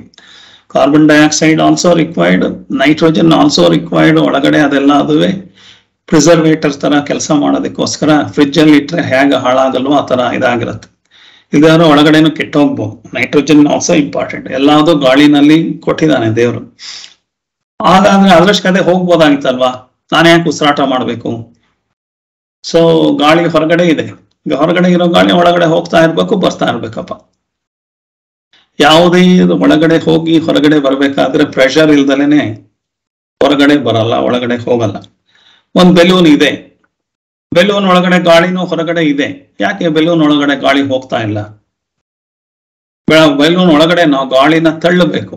ಗಾಳಿನ ನೂಕಬೇಕು. ಅವಾಗ ಬೆಲೂನ್ ಓದ್ಕೊಳತ್ತೆ ಹಾಗೆ ನಮ್ಮ ಶರೀರದಲ್ಲಿ ಗಾಳಿ ಅದೃಷ್ಟದೇ ಒಳಗಡೆ ಹೋಗಲ್ಲ. ಅದಕ್ಕೆ ನಾವು ಉಸಿರಾಟದ ಪ್ರಕ್ರಿಯೆ ಅಂತ ಏನ್ ಹೇಳ್ತಾ ಇದೀವಿ ಆ ಉಸಿರಾಟ ಆಗ್ಬೇಕಾದ್ರೆ ಈ ಪಂಚಪ್ರಾಣಗಳೆಲ್ಲದು ಕೆಲಸ ಮಾಡಿದ್ರೆ ಉಸಿರಾಟ ಆಗುತ್ತೆ. ಇಲ್ಲದವರು ಗಾಳಿ ಹೊರಗಡೆ ಇದೆ, ಒಳಗಡೆ ಹೋಗ್ಬೋದಾಗಿತ್ತು. ಆಗಲ್ವಲ್ಲ ಹೋಗಲ್ಲ. ಸೊ ಬೆಲೂನ್ ಒಳಗಡೆ ಬೆಲೂನ್ ಅಲ್ಲೇ ಟೇಬಲ್ ಮೇಲೆ ಇದೆಯಪ್ಪ. ಬೆಲೂನ್ ಅದೃಷ್ಟದೇ ಊದ್ಕೋಬೇಕಾಯ್ತಲ್ಲ, ಊದ್ಕೊಳ್ತಾ ಇಲ್ವೇ? ಬೆಲೂನ್ನ ಊದ್ಬೇಕು, ಊದ್ ತಕ್ಷಣ ಅದು ಹಂಗೆ ಆಗ್ಬಿಟ್ರೆ ಆಗತ್ತಾ? ಆಮೇಲೆ ಗಂಟು ಹಾಕ್ಬೇಕು, ಒಳಗಡೆ ಗಾಳಿ ಇರ್ಬೇಕಾದ್ರೆ ಗಂಟು ಹಾಕ್ಬೇಕು. ಸೊ ನಾವು ಉಸಿರಾಡಿದ ಗಾಳಿ ಒಳಗಡೆ ಗಂಟು ಹಾಕೋಬೇಕಂತಂದ್ರೆ ಎಕ್ಸ್ಚೇಂಜ್ ಮಾಡ್ಕೋಬೇಕು. ಎಕ್ಸ್ಚೇಂಜ್ ಮಾಡ್ಕೊಂಡಾದಾಗ ಒಳಗಡೆ ಗಾಳಿ ಹೋಗಿದ್ದಕ್ಕೆ ಯೂಸ್ಫುಲ್ ಇದೆ. ಆ ಎಕ್ಸ್ಚೇಂಜ್ ಮಾಡ್ಕೊಳ್ಳದಲ್ಲೇ ಇದ್ರೆ ಕಷ್ಟ ಆಗುತ್ತೆ. ಹಾಗಾಗಿ ಪ್ರಾಣಾಯಾಮ ಅನ್ನುವಾಗ ನಾಲ್ಕು ಹಂತಗಳಿದೆ. ಒಂದು ಉಚ್ಛ್ವಾಸ, ಇನ್ನೊಂದು ನಿಶ್ವಾಸ ಅಂತ. ಉಚ್ಛ್ವಾಸ ಅಂತಂದ್ರೆ ಉಸಿರನ್ನ ಒಳಗಡೆ ಎಳಕೊಳ್ಳೋದು. ಉಸಿರನ್ನ ಎಳಗಡೆ ಎಳಕೊಳ್ಳೋದಕ್ಕೆ ಬೇಕಾಗಿರೋ ಶಕ್ತಿ ಬೇಕಲ್ಲ? ಅದೆಲ್ಲಿದೆ ಇದೆ ಅಂದ್ರೆ ಪಂಚಪ್ರಾಣ. ಅದ್ರ ಬಗ್ಗೆ ಇನ್ನು ಡೀಟೇಲ್ ಹೇಳ್ತೀನಿ. ಫಾರ್ ಎಕ್ಸಾಂಪಲ್ ಇಂಜೆಕ್ಷನ್ ಸಿರಂಜ್ ಇದೆ. ಇಂಜೆಕ್ಷನ್ ಸಿರಂಜ್ ಸೂಜಿನ ಅಲ್ಲಿ ಚುಚ್ಚಿದ್ದೀನಿ. ಒಳಗಡೆ ಲಿಕ್ವಿಡ್ ಇದೆ. ಸೂಜಿ ಇಲ್ಲಿ ಒಳಗಡೆ ಒಳಗಡೆ ಹೋಗಿದೆ. ನಾನು ಮೇಲ್ಗಡೆ ಸಿರಂಜಿನ ಔಷಧಿ ಬಾಟ್ಲ್ ಹೀಗೆ ಇಟ್ಕೊಂಡಿದ್ದೀನಿ, ಸಿರಂಜ್ ಕೆಳಗಡೆ ಇಟ್ಕೊಂಡಿದ್ದೀನಿ. ಅದಷ್ಟು ಅದೇ ಮೇಲಿಂದ ಲಿಕ್ವಿಡ್ ಕೆಳಗಡೆ ಬರ್ಬೋದಾಗಿತ್ತು. ಬರ್ಬೋದು ಗ್ರಾವಿಟಿ ಇದೆ ಲಿಕ್ವಿಡ್ ಇದೆ, ಸೂಜಿ ಒಳಗಡೆ ಹೋಲ್ ಇದೆ, ಬರ್ಬೋದಾಗಿತ್ತು. ಬರಲ್ಲ. ನಾನು ಹಿಂದ್ಗಡೆಯಿಂದ ಸಿರಿಂಜ್ನ ಎಳೆಯಬೇಕು. ಆ ಒಳಗಡೆ ಒಂದು ಬ್ಲ್ಯಾಕ್ ರಬ್ಬರ್ ಇದೆ. ಆ ಬ್ಲ್ಯಾಕ್ ರಬ್ಬರ್ ಹಿಂದಕ್ಕೆ ಹಿಂಗೆ ಎಳೆದಾಗ ಮೇಲಿಂದ ಲಿಕ್ವಿಡ್ ಒಳಗಡೆ ಬರುತ್ತೆ. ಹಾಗೆ ನಮ್ಮ ಮೂಗಲ್ಲಿ ಹಿಂಗೆ ಎಳ್ಕೊಂಡ್ಬಿಡ್ತಾ ಇದ್ದೀವಿ ಬರ್ತಾ ಇದ್ದೀವಿ ಅನ್ನೋದೆಲ್ಲ ಬರೀ ಕಲ್ಪನೆ. ಆದ್ರೆ ಹೊಟ್ಟೆನಲ್ಲಿ ಒಂದು ನಮ್ಮ ಇಂಜೆಕ್ಷನ್ ಸಿರಿಂಜ್ ಅಲ್ಲಿ ಹೇಗೆ ಆ ಬ್ಲ್ಯಾಕ್ ಕಲರ್ದು ಇದೆಯಲ್ಲ, ಏನು? ಆ ಒಂದು ಒಂದು ಮೆಂಬ್ರೇನ್ ಇದೆ. ಆ ಇಂಜೆಕ್ಷನ್ ಸಿರಿಂಜ್ ಅಲ್ಲಿ ಆ ಬ್ಲ್ಯಾಕ್ ಕಲರ್ ಮೆಂಬ್ರೇನ್ನ ಹಿಂದೆ ಕೆಳದಾಗ ಒಳಗಡೆ ಲಿಕ್ವಿಡ್ ಬರುತ್ತೆ. ಮುಂದೆ ಪ್ರೆಸ್ ಮಾಡಿದ್ರೆ ಲಿಕ್ವಿಡ್ ಆಚೆಗೆ ಹೋಗುತ್ತೆ. ಅದೇ ತರ ನಮ್ಮ ದೇಹದಲ್ಲೂ ದೇವರೇ ಮಾಡಿರೋದು ಏನಂದ್ರೆ ಆ ತರದ ಒಂದು ಮೆಂಬ್ರೇನ್ ಮಾಡಿದ್ದಾನೆ. ಅದಕ್ಕೆ ಒಪೆ ಅಂತ ಹೇಳ್ತೀವಿ. ಅದಕ್ಕೆ ಇಂಗ್ಲಿಷ್ ಅಲ್ಲಿ ಡಯಾಫ್ರಾಮ್ ಅಂತ ಹೇಳ್ತಾರೆ. ಆ ಡಯಾಫ್ರಾಗಮ್ ಅನ್ನೋದು ಉಸಿರಾಟ ಮಾಡಿದಾಗ ಈ ಮೇಲೆ ಹೊಕ್ಕಳಿಂದ ಮೇಲೆ ಉಸಿರು ಹೊರಗಡೆ ಬಿಟ್ಟಾಗ ಕೆಳಗಡೆಯಿಂದ ಮೇಲಕ್ಕೆ ತಿದಿ ತರ ಒತ್ತಿ ಕೆಳಗಡೆ ಆಚೆಗೆ ಬರುತ್ತೆ. ಆ ತಿದಿ ಕೆಲಸ ಮಾಡ್ಲಿಲ್ಲ ಅಂದ್ರೆ ಉಸಿರಾಟ ಆಡಕ್ಕಾಗಲ್ಲ. ಆ ತಿದಿ ಕೆಲಸ ಮಾಡ್ಬೇಕು. ತಿದಿ ಇಂಜೆಕ್ಷನ್ ಸಿರಂಜನ ಮೇಲಕ್ಕೆ ಒತ್ತಿದ್ರೆ ಆ ಒಳಗಡೆ ಇರೋ ಸಿರಂಜ್ ಅಲ್ಲಿರೋ ಔಷಧಿ ಎಲ್ಲ ಆಚೆಗೆ ಹೇಗೆ ಹೋಗುತ್ತೋ ಆ ತಿದಿ ಅನ್ನೋದು ಮೇಲೆ ಹಿಂಗ್ ಪ್ರೆಸ್ ಮಾಡಿದ್ರೆ ಲಂಗ್ಸ್ ನೆಲ್ಲ ಪ್ರೆಸ್ ಮಾಡಿ ಒಳಗಡೆ ಇರೋ ಆಕ್ಸಿಜನ್ ಕಾರ್ಬನ್ ಡೈಆಕ್ಸೈಡ್ ಎಲ್ಲ ಅದನ್ನು ಆಚೆಗೆ ಹಾಕತ್ತೆ. ಆ ತಿದಿ ತಿರ್ಗಾ ಕೆಳಗಡೆ ಹೋಗಿ ಹೊಕ್ಲಿಂದ ಕೆಳಗ್ ತನಕನೂ ಹೋಗುತ್ತದು. ಆ ತಿದಿ ಅದೊಂದು ಮೆಂಬ್ರೇನ್ ಆ ಮೆಂಬ್ರೇನ್ ಕೆಳಗ್ ತನಕ ಹೋಗೋದ್ರಿಂದ ಹೊರಗಡೆ ಇರೋ ಗಾಳಿ ಮೂಗಿನ ಮುಖಾಂತರ ಲಂಗ್ಸ್ ಒಳಗಡೆ ಹೋಗುತ್ತೆ. ಸೊ ಇದು ಪ್ರಾಣಾಯಾಮ ಮಾಡುವಂತ ವಿಚಾರ. ಪ್ರಾಣಾಯಾಮ ಮಾಡ್ಬೇಕಾದ್ರೆ ಸುಮ್ನೆ ಮೂಗಲ್ ಹಿಂಗ್ ಮಾಡಿ, ಹಂಗ್ ಮಾಡಿ ಅಂದ್ರೆ ಈ ತಿದಿ ಸರಿಯಾಗಿ ಕೆಲಸ ಮಾಡದಲ್ಲೇ ಇದ್ರೆ, ಈ ಮೆಂಬ್ರೈನ್ ಸರಿಯಾಗಿ ಕೆಲಸ ಮಾಡದಲ್ಲೇ ಇದ್ರೆ, ಈ ಒಪೆ ಸರಿಯಾಗಿ ಕೆಲಸ ಮಾಡದಲ್ಲೇ ಇದ್ರೆ, ಉಸಿರಾಟ ಹೊಟ್ಟೆ ತುಂಬಾ ದಪ್ಪ ಇದೆ ನನಗೆ ಅಂದ್ರೆ ಉಸಿರಾಟನೇ ಕಡಿಮೆ ಆಗ್ತಾ ಇರುತ್ತೆ. ಸೊ ನಮ್ಮ ಲಂಗ್ಸ್ ಅಲ್ಲಿ ಐದು ಭಾಗಗಳಿದೆ. ಸೊ ಒಂದು ರೈಟ್ ಸೈಡ್ ಅಲ್ಲಿ ಇರೋ ಲಂಗ್ಸ್ ಅಲ್ಲಿ ಮೂರು ಚೇಂಬರ್ ಇದೆ. ಲೆಫ್ಟ್ ಸೈಡ್ ಅಲ್ಲಿ ಇರೋದ್ರೊಳಗೆ ಎರಡು ಚೇಂಬರ್ ಇದೆ. ಸೊ ಈ ಐದು ಚೇಂಬರ್ ಅಲ್ಲಿ ಏನು ನಮ್ದು ಆಕ್ಸಿಜನ್ ಎಲ್ಲದು ಕೆಲಸ ಮಾಡ್ತಾ ಇದೆ. ಅಲ್ಲಿ ಹೋಗಿ ಬ್ಲಡ್ ಆಕ್ಸಿಜನ್ನ ಎಕ್ಸ್ಚೇಂಜ್ ಮಾಡಿಕೊಂಡು ಕಾರ್ಬನ್ ಡೈಆಕ್ಸೈಡ್ನ ವಾಪಸ್ಸು ಬೇರೆಗೆ ಕೊಟ್ಬಿಟ್ಟು ಲಂಗ್ಸಿಗೆ ವಾಪಸ್ ಕೊಟ್ಟು ಆಕ್ಸಿಜನ್ನ ತಗೊಂಡು ಹೋಗುತ್ತೆ. ಕಲ್ಮಶಗಳನ್ನೆಲ್ಲ ಬರ್ನ್ ಮಾಡುತ್ತೆ. ಆ ಐದು ಚೇಂಬರ್ಗಳಲ್ಲಿ ಏನೇನ್ ಆಗ್ತಾ ಇದೆ, ಆ ಪಂಚ ಪ್ರಾಣಗಳು ಬೇರೆ ಬೇರೆ ಅಂಗಗಳಿಗೆ ಹೋಗ್ತಾ ಇದೆ. ನಮ್ಮಲ್ಲಿ ಲಂಗ್ಸ್ ಅಲ್ಲಿ ಬರೀ ಒಂದೇ ತರ ಹೇಳುತ್ತೆ. ಲಂಗ್ಸ್ ಅಲ್ಲಿ ಉಸಿರಾಟ ಮಾಡಿದ್ರೆ ಆಗುತ್ತೆ ಅಂತ. ಉಸಿರಾಟ ಮಾಡಕ್ ಮುಂಚೆ ಇಷ್ಟೆಲ್ಲ ಕೆಲಸ ಆಗ್ತಾ ಇದೆ ಅಂತ ನಮ್ಮ ವೇದಾಂತದಲ್ಲಿ ಹೇಳತ್ತೆ. ಸೊ ಪ್ರಾಣಾಯಾಮ ಅಂತ ಮಾಡ್ಬೇಕಾದ್ರೆ ಪ್ರಾಣಾಯಾಮ ಅನ್ನೋದೇ ದೊಡ್ಡ ಸೈನ್ಸ್ ಆ ಸೈನ್ಸ್ ಅಲ್ಲಿ ಇದೆಲ್ಲ ಡೀಟೇಲ್ಸ್ನ ಹೇಳ್ತಾರೆ. ಸೊ ಹೇಗೆ ಪ್ರಾಣಾಯಾಮ ಆಗುತ್ತೆ ಅಂತ. ಸೊ ಒಂದು ಉಚ್ಛ್ವಾಸ ಅಂತಂದ್ರೆ ಒಳಗಡೆಗೆ ಗಾಳಿನ ಎಳ್ಕೊಂಡಾಗ ಈ ಹೊಟ್ಟೆ ಹತ್ರ ಇರೋ ತಿದಿ ತರ ಇರೋದು ಕೆಳಗಡೆಗೆ ಎಳ್ಕೊಳತ್ತದು ಕೆಳಗಡೆ ಎಳ್ಕೊಳ್ತಿದ್ದಾಗೆ ಹೊರಗಡೆ ಇರೋ ಗಾಳಿ ಒಳಗಡೆಗೆ ಬರುತ್ತೆ. ಈಗ ನಾವು ಸಮುದ್ರದ ಲೆವೆಲ್ ಅಲ್ಲೇ ಇದ್ವಿ ಅಂತ ಅಂದ್ಕೊಂಡ್ರೆ ಸಮುದ್ರದ ಲೆವೆಲ್ ಅಲ್ಲಿ ಇದ್ದಾಗ ಈ ನಮ್ಮ ಮೇಲೆ ಇರುವಂತ ಗಾಳಿಯ pressure one K G pressure ಅಂತ ಇದೆ. ಆ ಒಂದ್ ಕೆ ಜಿ ಪ್ರೆಷರ್ ಇರೋದ್ರಿಂದ ಸ್ವಲ್ಪ ಬಾ, ಮೂಗಲ್ಲೇ ಸ್ವಲ್ಪ ಶಕ್ತಿ ಕೊಟ್ರೆ ಸಾಕು. ತಿದಿ ಏನು ಹೊಟ್ಟೆ ಕೆಳಗ್ ತನಕ ಹೋಗೋದೇ ಬೇಕಿಲ್ಲ. ಅಲ್ಲೇನೆ ತಕ್ಷಣ ಬೇಗ ಜಾಸ್ತಿ ಗಾಳಿ ತುಂಬಿಕೊಳ್ಳುತ್ತೆ. ಅದೇ ನಾವು ಹಿಮಾಲಯದ ಮೇಲೆ ಹೋಗ್ತಿದ್ದಾಗೇನೆ ಅಲ್ಲಿ ಪ್ರೆಷರ್ ಇಷ್ಟಿರಲ್ಲ. ಪ್ರೆಷರ್ ಕಡಿಮೆ ಇರೋದ್ರಿಂದ ಜಾಸ್ತಿ ಡೀಪ್ ಆಗಿ ನಾನೇ ಉಸಿರಾಟ ಮಾಡ್ಬೇಕು. ಡೀಪ್ ಆಗಿ ಬ್ರೀತ್ ಮಾಡೋದ್ಬೇಕಲ್ಲಿ ಇಲ್ಲದೆ ಹೋದ್ರೆ ಉಸಿರಾಟ ಮಾಡಕ್ಕಾಗಲ್ಲ ಸೊ ಅದರಷ್ಟೇ ಹೋಗೋ ಹಾಗಿದ್ರೆ ಹೋಗ್ಬಿಡ್ಬೇಕಾಯ್ತು. ಹೋಗಲ್ಲ. ಆ ಉಸಿರಾಟದಲ್ಲಿ ಉಚ್ಛ್ವಾಸ ಅಂತಂದ್ರೆ ಈ ಒಪೆ, ಈ ಡಯಾಫ್ರಾಗಮ್ ಅನ್ನೋದು ಕೆಳಗಡೆ ತನಕ ಎಳ್ಕೊಂಡು ಹೋದಾಗ ಅವಾಗ ಲಂಗ್ಸ್ ಅಲ್ಲಿ ಗಾಳಿ ತುಂಬಿಕೊಳ್ಳುತ್ತೆ ಲಂಗ್ಸ್ ಅಲ್ಲಿ ಗಾಳಿ ತುಂಬಿಕೊಂಡ ಮೇಲೆ ಒಳಗಡೆ ಒಂದ್ ಸ್ವಲ್ಪ ಹೊತ್ತು ಈ ಆಕ್ಸಿಜನ್ ಬ್ಲಡ್ ಜೊತೆ ಫ್ರೆಂಡ್ಶಿಪ್ ಅಲ್ಲಿ ಇರಬೇಕು ಎಕ್ಸ್ಚೇಂಜ್ ಮಾಡ್ಕೋಬೇಕು.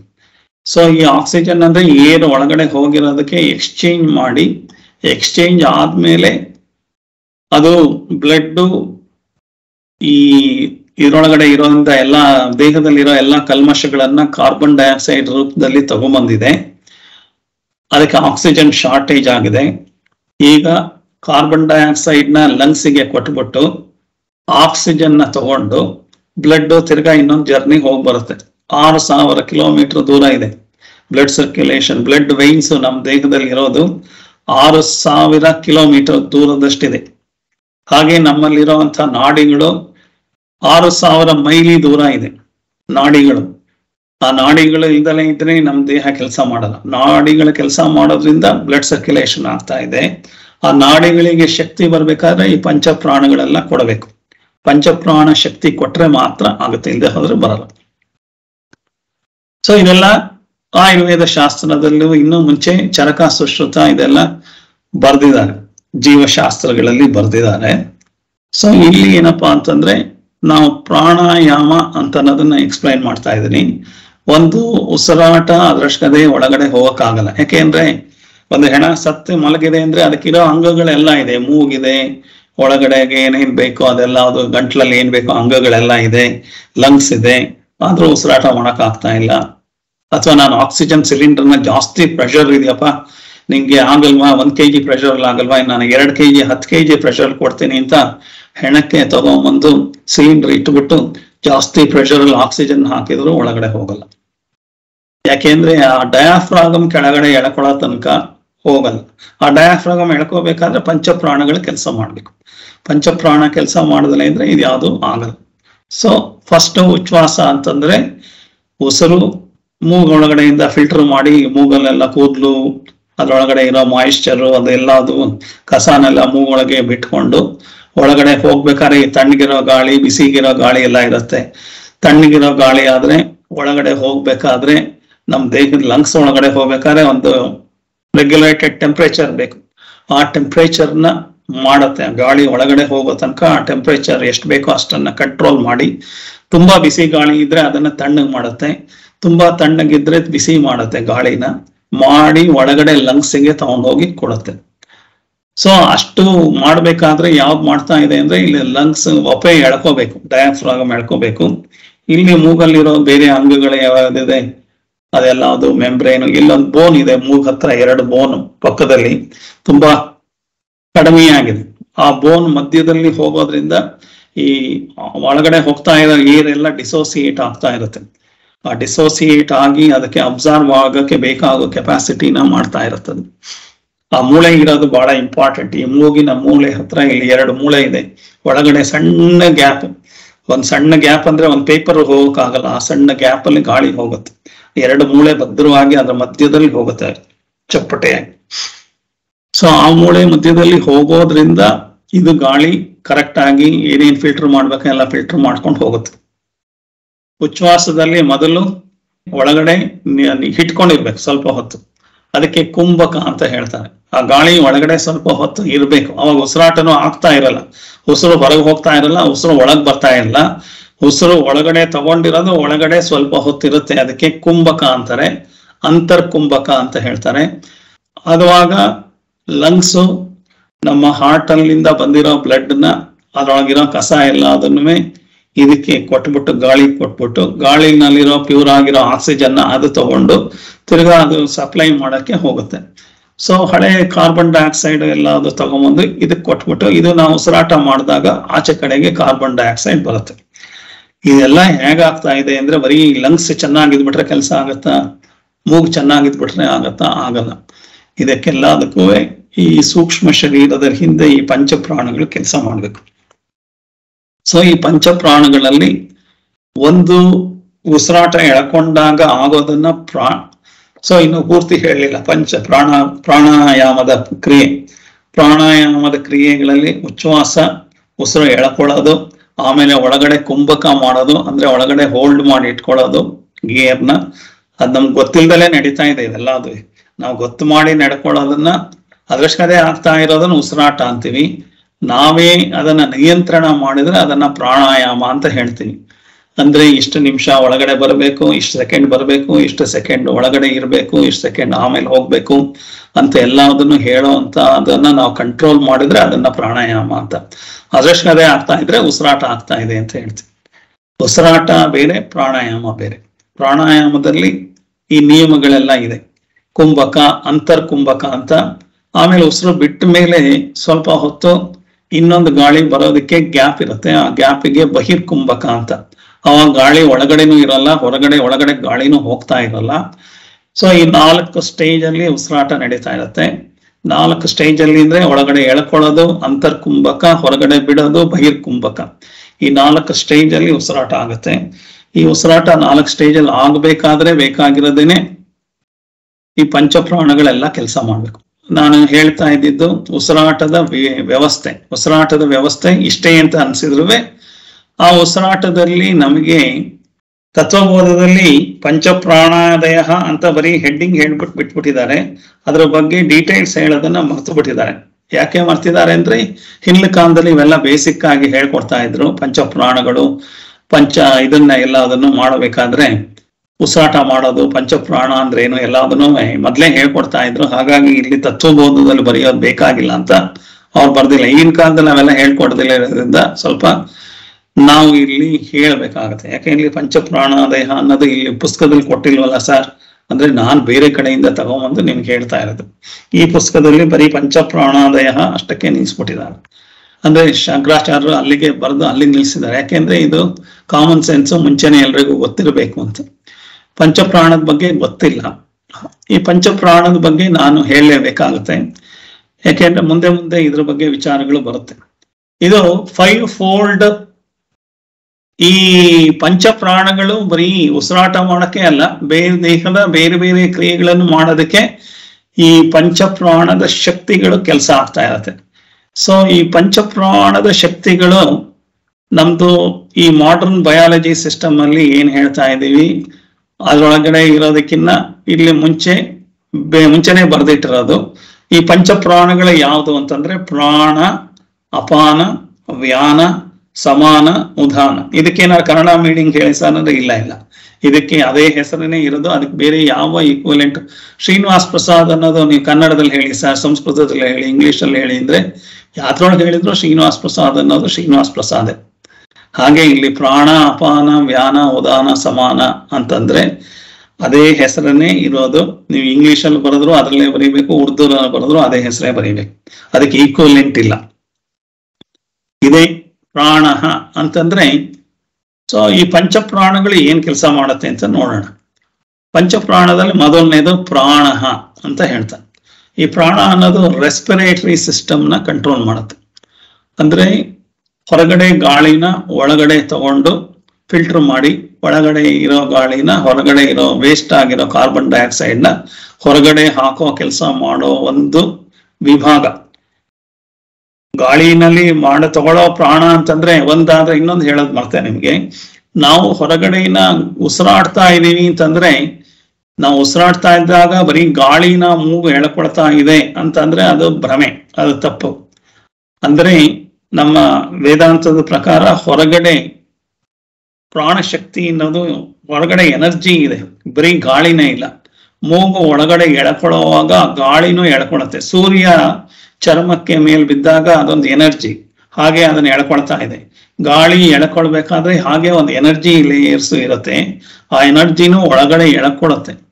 ಆ ಪ್ರಾಣ ಶಕ್ತಿನ ಎಳ್ಕೊಳ್ಳೋದು ಅಂದ್ರೆ ಆ ಪ್ರಾಣ ಬರೀ ಆಕ್ಸಿಜನ್ ಎಳ್ಕೊಳ್ಳೋದಲ್ಲ. ಪ್ರಾಣ ಶಕ್ತಿನೂ ಒಳಗಡೆ ಎಳ್ಕೊಳತ್ತೆ.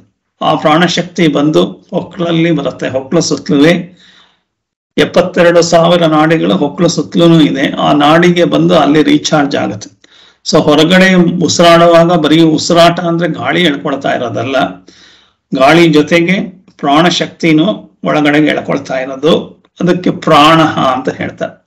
ಎರಡನೇದಕ್ಕೆ ಅಪಾನಹ ಅಂತ ಹೇಳ್ತಾರೆ. ಅಪಾನಹ ಅಂತಂದ್ರೆ ಇದು ಎಕ್ಸ್ಕ್ರೀಟರಿ ಸಿಸ್ಟಮ್ ಡೈಜೆಸ್ಟಿವ್ ಸಿಸ್ಟಮ್ ಇಂದ ಒಳಗಡೆ ಊಟನ, ಊಟ ತಗೊಂಡಿದ್ದು ಅಲ್ಲೇ ಮುಂದಕ್ಕೆ ಹೇಗೆ ಹೋಗುತ್ತೆ? ಅದಕ್ಕೇನು ಚಕ್ರ ಇದೆಯಾ? ಇಲ್ಲ. ಅದನ್ನ ಮುಂದಕ್ಕೆ ಮುಂದಕ್ಕೆ ನೂಕ್ಬೇಕಾದ್ರೆ ಈ ಅಪಾನ ಅನ್ನೋದು ಒಂದು ಒಂದು ಉಸಿರಾಟದಲ್ಲಿ ಆಗೋ ಗಾಳಿಗಳು ಬೇ ಐದು ತರ ಕೆಲಸ ಮಾಡುತ್ತೆ. ಅದರೊಳಗೆ ಈ ತರ ಕೆಲಸ ಮಾಡೋದು ಈ ಆಹಾರ ಜಠರದಿಂದ ನೆಕ್ಸ್ಟ್ ಡುಯೋಡಿನಮ್ ಡುಯೋಡಿನಮ್ ಇಂದ ನೆಕ್ಸ್ಟ್ ಇಂಟೆಸ್ಟೈನ್ ಇಂಟೆಸ್ಟೈನ್ ಅಲ್ಲಿ ನಲವತ್ತಡಿ ಅದು ಟ್ರಾವೆಲ್ ಮಾಡಿ, ಆಮೇಲೆ ಲಾರ್ಜ್ ಇಂಟೆಸ್ಟೈನ್ ಅಲ್ಲಿ ಹೋಗಿ ಕೋಲನಿಂದ ಆಚೆಗೆ ಹೋಗಿ ರೆಕ್ಟಮ್ ಅಲ್ಲಿ ಹೋಗಿ ರೆಕ್ಟಮ್ ಇಂದನೂ ಆಚೆಗೆ ಬರಬೇಕು. ಉಸಿರಾಟ ನಾನು ಊಟ ಏನೋ ಮಾಡ್ಬಿಟ್ಟಿದೀನಿ, ಆದ್ರೆ ಮೋಷನ್ನೇ ಆಗ್ತಾ ಇಲ್ಲ. ನಾಲ್ಕು ದಿವಸ ಆಯ್ತು, ಐದು ದಿವಸ ಆಯ್ತು ಅಂತಂದ್ರೆ ಒಳಗಡೆ ಅಪಾನವಾಯು ಸ್ವಲ್ಪ ಕಡಿಮೆ ಕೆಲಸ ಮಾಡ್ತಾ ಇದೆ. ಅಪಾನವಾಯು ಸರಿಯಾಗಿ ಕೆಲಸ ಮಾಡ್ದಲೇ ಇದ್ರು ಮೋಷನ್ ಆಗಲ್ಲ. ನಾವು ತಿಂದಿರೋದು ಬರೀ ಹಿಟ್ಟು ಪದಾರ್ಥಗಳಾದ್ರೆ ಅಪಾನವಾಯು ಮೂವ್ ಮಾಡೋಕೆ ಜಾಗ ಇಲ್ದಲೇ ಇರೋದ್ರಿಂದ ಸಿಮೆಂಟ್ ತರ ಆಗ್ಬಿಟ್ಟು ಕರಳಲ್ಲೆಲ್ಲ ಹಾಗೆ ಅಂಟ್ಕೊಂಡು ಕೊನೆ ಕೋಲನ್ನಲ್ಲೂ ಸಿಮೆಂಟ್ ತರ ಈ ಅಪಾನವಾಯು ಕೆಳಗೆ ಹೋಗ್ಬೇಕಲ್ಲ, ಹೋಗೋ ತನಕ ಜಾಗನೇ ಇಲ್ದಲೇ ಇದ್ರೆ ಒಳ್ಳೆ ಸಿಮೆಂಟ್ ಪ್ಲಾಸ್ಟರ್ ತರ ಮಾಡ್ಬಿಟ್ರೆ ನಾವು ತಿಂದಿರೋ ಆಹಾರಗಳು ಆ ತರ ತಿಂದ್ರೆ ಅದೆಲ್ಲ ಒಂದ್ ಕಡೆ ಅಪಾನವಾಯು ಮುಂದಕ್ಕೆ ಹೋಗ್ಬೇಕಾಗ್ದಲೆ ನಿಂತ್ಕೊಂಡ್ಬಿಟ್ರೆ ಮೋಷನ್ ಆಗಲ್ಲ. ಮುಂದಕ್ಕೆ ಹೋಗಲ್ಲ. ಕರಳಲ್ಲಿ ಬೋಲ್ ಮೂಮೆಂಟ್ ಅಂತ ಏನ್ ಹೇಳ್ತೀವಿ? ಈ ಬೋಲ್ ಮೂಮೆಂಟ್ ಅಂತ ಆಗ್ಬೇಕಾದ್ರೆ ಏನಿರ್ಬೇಕು? ಅಪಾನವಾಯು ಕೆಲಸ ಮಾಡ್ಬೇಕು. ಅಪಾನವಾಯು ಕೆಲಸ ಮಾಡಿದ್ರೆ ಮಾತ್ರ ಹೊರಗಡೆಗೆ ಹೋಗುತ್ತೆ. ವೇಸ್ಟ್ ಹಿಂದೆ ಹೋದ್ರೆ ಹೋಗಲ್ಲ. ನೆಕ್ಸ್ಟ್ ವ್ಯಾನಹ ಅಂತ ಹೇಳ್ತಾರೆ. ವ್ಯಾನಹ ಅಂತಂದ್ರೆ ನಮ್ಮ ಬ್ಲಡ್ ಎಲ್ಲ ಹಾರ್ಟ್ ಒಳಗಡೆ ಇದೆ. ಒಟ್ಟು ನಮ್ಮ ದೇಹದಲ್ಲಿ ಆರು ಲೀಟರ್ ಬ್ಲಡ್ ಇದೆ. ಆರು ಲೀಟರ್ ಬ್ಲಡ್ ಆರು ಸಾವಿರ ಕಿಲೋಮೀಟರ್ ಪೈಪ್ ಅಲ್ಲಿ ಹೋಗ್ತಾ ಇದೆ. ಆರು ಸಾವಿರ ಮೀಟರ್ ಪೈಪ್ ಅಲ್ಲಿ ಹೋಗ್ಬೇಕಾದ್ರೆ ಒಂದು ಮೋಟರ್ ಬೇಕು. ಆ ಮೋಟರ್ ಕೆಲಸ ಮಾತ್ರ ಹಾರ್ಟ್ ಮಾಡ್ತಾ ಇದೆ. ಸೊ ಹಾರ್ಟ್ ಏನ್ ಮಾಡ್ತಾ ಇದೆ ಅಂದ್ರೆ ಹಳೆ ಬ್ಲಡ್ನ ಆರ್ ಸಾವಿರ ಕಿಲೋಮೀಟರ್ ಅಲ್ಲಿ ಮೂರ್ ಸಾವಿರ ಕಿಲೋಮೀಟರ್ ಹಳೆ ಪೈಪ್ ಲೈನ್ ಇದೆ. Waste B W S S P ಇದು ಎರಡು ಪೈಪ್ ಲೈನ್ ಇರುತ್ತೆ. ನೋಡಿದಿರಲ್ವಾ ಒಂದು ಫ್ರೆಶ್ ವಾಟರ್ ಮನೆಗೆ ಸಪ್ಲೈ ಮಾಡುತ್ತೆ. ಇನ್ನೊಂದು ಟಾಯ್ಲೆಟ್ ವೇಸ್ಟ್ನ ಆಚೆ ಕಡೆ ತಗೊಂಡೋಗುತ್ತೆ. So B W S P ಇದು ಎರಡು ಕೆಲಸ ಇದೆಯಲ್ಲ, ಒಂದು ವಾಟರ್ ಸಪ್ಲೈ ಇನ್ನೊಂದು ವೇಸ್ಟ್ನ ಕಲೆಕ್ಟ್ ಮಾಡೋದು.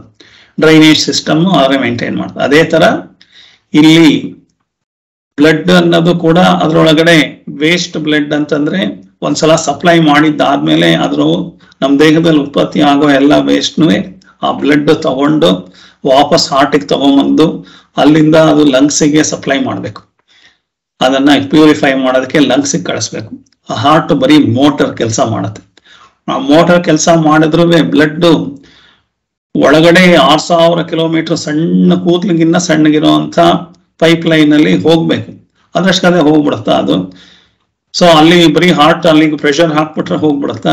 ಅಂತಂದ್ರೆ ಈ ವ್ಯಾನಹ ಶಕ್ತಿ ಕೆಲಸ ಮಾಡಿದ್ರೆ ಅದು ಬ್ಲಡ್ ಸರ್ಕ್ಯುಲೇಷನ್ ಸರಿಯಾಗುತ್ತೆ ಈ ವ್ಯಾನ ಕೆಲಸ ಸರಿಯಾಗಿ ಮಾಡಲಿಲ್ಲ ಅಂದ್ರೆ ಕೈಗೆ ಸಪ್ಲೈ ಆಗ್ತಾ ಇಲ್ಲ ಬ್ಲಡ್ ಅಂತಂದ್ರೆ ಆಮೇಲೆ ಈ ಪ್ರಾಣ ಶಕ್ತಿ ಕೈಗೆ ಹೋಗ್ತಾ ಇಲ್ಲ ಅಂತಂದ್ರೆ ಕೈಗೆ ಲಕ್ಕ ಹೊಡಿತು ಅಂದ್ರೆ ಬ್ಲಡ್ ಸರ್ಕ್ಯುಲೇಷನ್ ಆಗ್ತಾ ಇದೆ.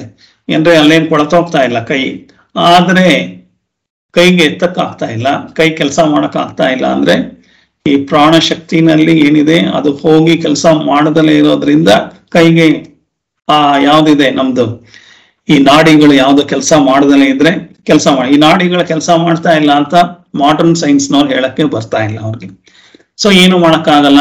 ಕೈ ಬಿದ್ದೋಗಿದೆ ಅಷ್ಟೇ. ಪ್ಯಾನಲೆಟಿಕ್ ಆಗಿದೆ. ಇದಕ್ಕೆ ಏನು ಮಾಡಕ್ಕಾಗಲ್ಲ? ಆಮೇಲೆ ಕ್ರಮೇಣ ಸರಿ ಹೋದ್ರು ಹೋಗ್ಬೋದು, ಇಲ್ಲದೆ ಹೋದ್ರೆ ಇಲ್ಲ ಅಂತ ಹೇಳ್ಬಿಟ್ಟು ಕಳಿಸ್ತಾರೆ ಮನೆಗೆ ಆಸ್ಪತ್ರೆಯಿಂದ. ಅಷ್ಟೆ. ಇಲ್ಲಿ ಈ ಒಂದು ನಾಡಿ ಶಾಸ್ತ್ರದ ಪ್ರಕಾರ ನಾಡಿಗಳು ಸರಿಯಾಗಿ ಕೆಲಸ ಮಾಡದೇ ಇದ್ರೆ ಆ ಅಂಗಗಳೆಲ್ಲ ಡಮಾರ್ ಅಂತ ಆಗ್ತಾ ಇರುತ್ತೆ. ಆ ಅಂಗಗಳಿಗೆ ನಾಡಿಗಳ ಕೆಲಸ ಮಾಡ್ಬೇಕಾದ್ರೆ ಸರಿಯಾಗಿ ಈ ಪಂಚಪ್ರಾಣಗಳೆಲ್ಲ ಕೆಲಸ ಮಾಡ್ಬೇಕು. ಪಂಚಪ್ರಾಣ ಕೆಲಸ ಮಾಡದಲ್ಲ ಇದ್ರೆ ಆಗಲ್ಲ. ಸೊ ವ್ಯಾನಹ ಅನ್ನೋದು ಈ ಬ್ಲಡ್ ಸರ್ಕ್ಯುಲೇಷನ್ನ ಮೇಂಟೈನ್ ಮಾಡುವಂತದ್ದು ಒಂದು ಶಕ್ತಿ. ವ್ಯಾನಹ ಅನ್ನೋ ಸರ್ಕ್ಯುಲೇಟರಿ ಸಿಸ್ಟಮ್ನ ಮೇಂಟೈನ್ ಮಾಡುವಂತ ಶಕ್ತಿ.